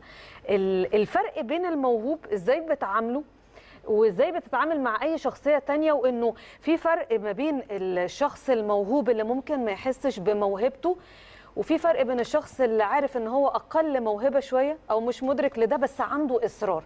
وأفتكر اللي عنده إصرار هو اللي بينجح أكتر من اللي عنده موهبة. لا ما أنا أنا دوري بقى إن أنا اللي عنده أنت بقى موهبة ده بتعمل إزاي المعادلة دي؟ لأنها معادلة صعبة جدا. شريف عبد الفضيل بيعمل إيه؟ ده بيعمل دمج بين الاثنين لازم أعمل عملية دمج. إزاي دمج بقى؟ إزاي؟ ده. أنا مثلا لو جيت جنب الولد وطبطبت على كتف واحد مم. التاني يزعل ويغير. مم. عارفه انت؟ أكنك في حضانة انت بالظبط. الاخوات كده يعني بالك آه احنا- الاخوات لا، بيقعدوا يعني إخوات كده إيه؟ مع بعض. إحنا اللعيبة الكبار كنا آه. كده. آه طبعا. يعني لو مدير الفني جه يهزر مع كابتن هاني ما يعني هزرش معايا. أنا لا، آه، بالظبط. أنا أتجنن. هو كمان أو أنا بحس لهاني وما ضحكليش آه، أنا أتجنن. وإحنا كبار. كلمك في 23 و25 و30 و النفس هي- البشرية كده على فكرة ملهاش يعني آه هو كده طبيعة البني آدم يعني. كرة القدم غير. مم. إحنا لعيبة كرة قدم دايما بتبص لنفسك. مم. فأنا بتعامل بقى في الحتة دي. أنا بحاول أطور الحتة دي بالنسبة لي أنا فاكر يا شريف ساعات بيقول لك يا عم ده أبوك كلمه ده أبوك والله يعني المدرب و- لما يجي يهزر شوية مع شريف آه يا عم شريف والله بقى ده أبوك 100 يا. راجل آه طب ولد من 2003 وهو ماشي. آه. الولد ده كان third back ده متنبئ له إن شاء الله يبقى stopper. في النادي الأهلي. آه بس عايز يظبط العقلية شوية. على أعلى مستوى بأمانة في 2003 مم. الولد ده وهو ماشي كده فاللعيبة كلها أصلا أنا اللي جبته جبته من. الاختبارات السنة اللي فاتت اسمه محمد اسمه محمد شرقية هو اسمه كده. خلاص وكان ليه اسم تاني بس أنا لغيته طبعا عشان عقليته يعني ما ينفعش يتقال له الاسم ده. إيه، فالولاد لازم مثلا؟ حاجات لا أسامي غريبة كده. فقلت له اسمه محمد شرقية. فإن شاء الله الولد ده هيبقى قريب جدا في الفريق. الأول بإذن الله يعني. فهو ماشي في التراك. آه، فبينده لي بقى وسط آه، أبويا أبويا. حبيبي. آه. آه. فالحمد لله لما تسيب طباع زي ما انت بتقول كده يا كابتن هاني إيه. خلاص دي يا عم ده أبوك يا عم ده أبوك بقى وبتاع دي ألفاظ دايما متداولة يعني. فطبعا حتة الربط بين اللعيبة وإزاي أه أفصل وأقدر أطلع المخزون اللي جوه اللعيب ده الحريف وأعمل عملية دمج بين اللعيب الأقل مستوى وأخليه إزاي يبقى أعلى مستوى وأحفزه دي كلها بتبقى محتاجة شغل وتطوير كتير قوي عشان أوصل للمرحلة دي طيب أكيد برضو شريف آه، آه، المدير الفني الأجنبي طبعا حاطط استراتيجية وحاطط أهداف أكيد طبعاً، للقطاع طبعاً. وأكيد اتعاملت معاه واتكلمته آه، وأكيد زي ما يمكن أنا كمان اتعاملنا مع بعض وأنا طبعاً. في, النادي الأهلي إن هو المهمة الأكبر لمدرب قطاع الناشئين مش إن هو ياخد بطولة جمهورية أو ياخد. بطولة قطاع إن. إحنا في الآخر والله أنت بتعمل نموذج للعيب مؤهل إنه يلعب في الفريق الأول للنادي الأهلي. آه، ال- المعادلة دي هتشتغلوها إزاي؟ أنتوا بتكلم كقطاع كله والمدير الفني أول حاجة قالها لكم إيه؟ إيه المنهج اللي هن- هنمشي عليه خلال السنة اللي جاية أو اللي بعديها؟ يعني. بص ده ده راجل ده ده خبير. الراجل ده خبير ده اولا هو جاي لنا إحنا بيدينا كورسات أسبوعية ناخد آه، آه، كل آه، في الأسبوع ثلاث أيام okay. بيدينا فيها زي دورة تدريبية. بيشرح لنا طريقه كل ما هو جديد في كرة القدم analyze. على الفيديو على البروجيكتور بالظبط كده في. meeting كل ما هو جديد في كرة القدم حلو. بيقعد يشرحه لنا direct كل أسبوع والله الكورة بقى فيها الأمور دلوقتي ما بقاش في نواحي تكتيكية بالشكل ده تمام. آه، الأمور لازم توصل لكده آه، الحاجة الثانية عملية آه، الرؤيه حتى لنوعية التدريب okay. وشكل التدريب الألفاظ مخارج ألفاظ المدربين لازم تبقى طبعاً. موحدة ما ينفعش أنا مثلا مدرب أجي أقول للولد اعمل pass جامد وما أقولوش اتحرك خطوتين لتحت وما اقولوش حضر لعب من ورا. آه. أنا ده بقى هنا عملية الربط. أنا ببني الولد بأسسه صح عشان ما أنا مدرب ما اجيش أقول له كلمة. مظبوط. وبعد كده المدرب التاني يجي يقول له كلمة فبقى عند الولد خلل. بيشوش في, على في الرؤيه. دي. آه بالظبط. فهمت قصدي إيه؟ ويبقى هو الراجل ده دوره إيه؟ المدارس بره كلها بتمشي على النهج ده ال system ده ده. حقيقي. منهج يبقى واحد. خبير. راجل موجود. بيحط system وطريقة كلام واحدة نطق لده. عشان كده النادي الأهلي دايما سباق. طب آه، يعني آخر حاجة وآخر سؤال وأنا بحب جدا السؤال ده. في طريقة لعب واحدة تتفق مع الفريق الأول. يعني قال لك هنعمل مثلا لو الفريق الأول بيلعب 4 4 4 2 3 1 هيطبق الكلام ده على كل القطاع تحت ولا لسه الأمور دي ما بنتش؟ لا دي ما بانتش وما يقدرش يحط الحتة دي دلوقتي غير لما يحط ال system بتاعه هو وال rules اللي عايزنا نمشي عليها غير لما مخارج ال- الألفاظ ال- الأول تخرج لازم. آه الأساس الأول ال basic step يعني. by step. لازم واحدة okay. واحدة إن شاء الله هو موضوع عملية تصحيح الأوضاع في قطاع الناشئين ده يعتبر تقريبا مش تقريبا هو أكيد. أول خطوة في إن أنت يكون عندك لعيبة أسماء. أنا نفسي أشوف أبو تريكة ونفسي أشوف تريزيجيه ونفسي أشوف النني وصلاح و...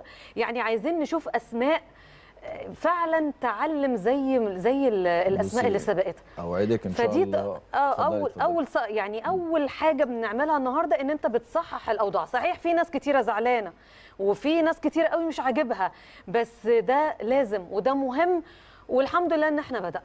عايز تقول إيه أنا عايز أنا النقطة دي أصلا يعني أنا يعني ما كناش حابين نتكلم في ده لأن. إحنا أنت عارفة في النادي الأهلي إحنا ما بنتكلمش طبعا بنشتغل بس قافلين على نفسنا إحنا بنشتغل على آه. طول الحمد. لله يعني وأي حاجة ما تشغلناش ده حقيقي. إحنا- لأن إحنا ليه شغالين صح.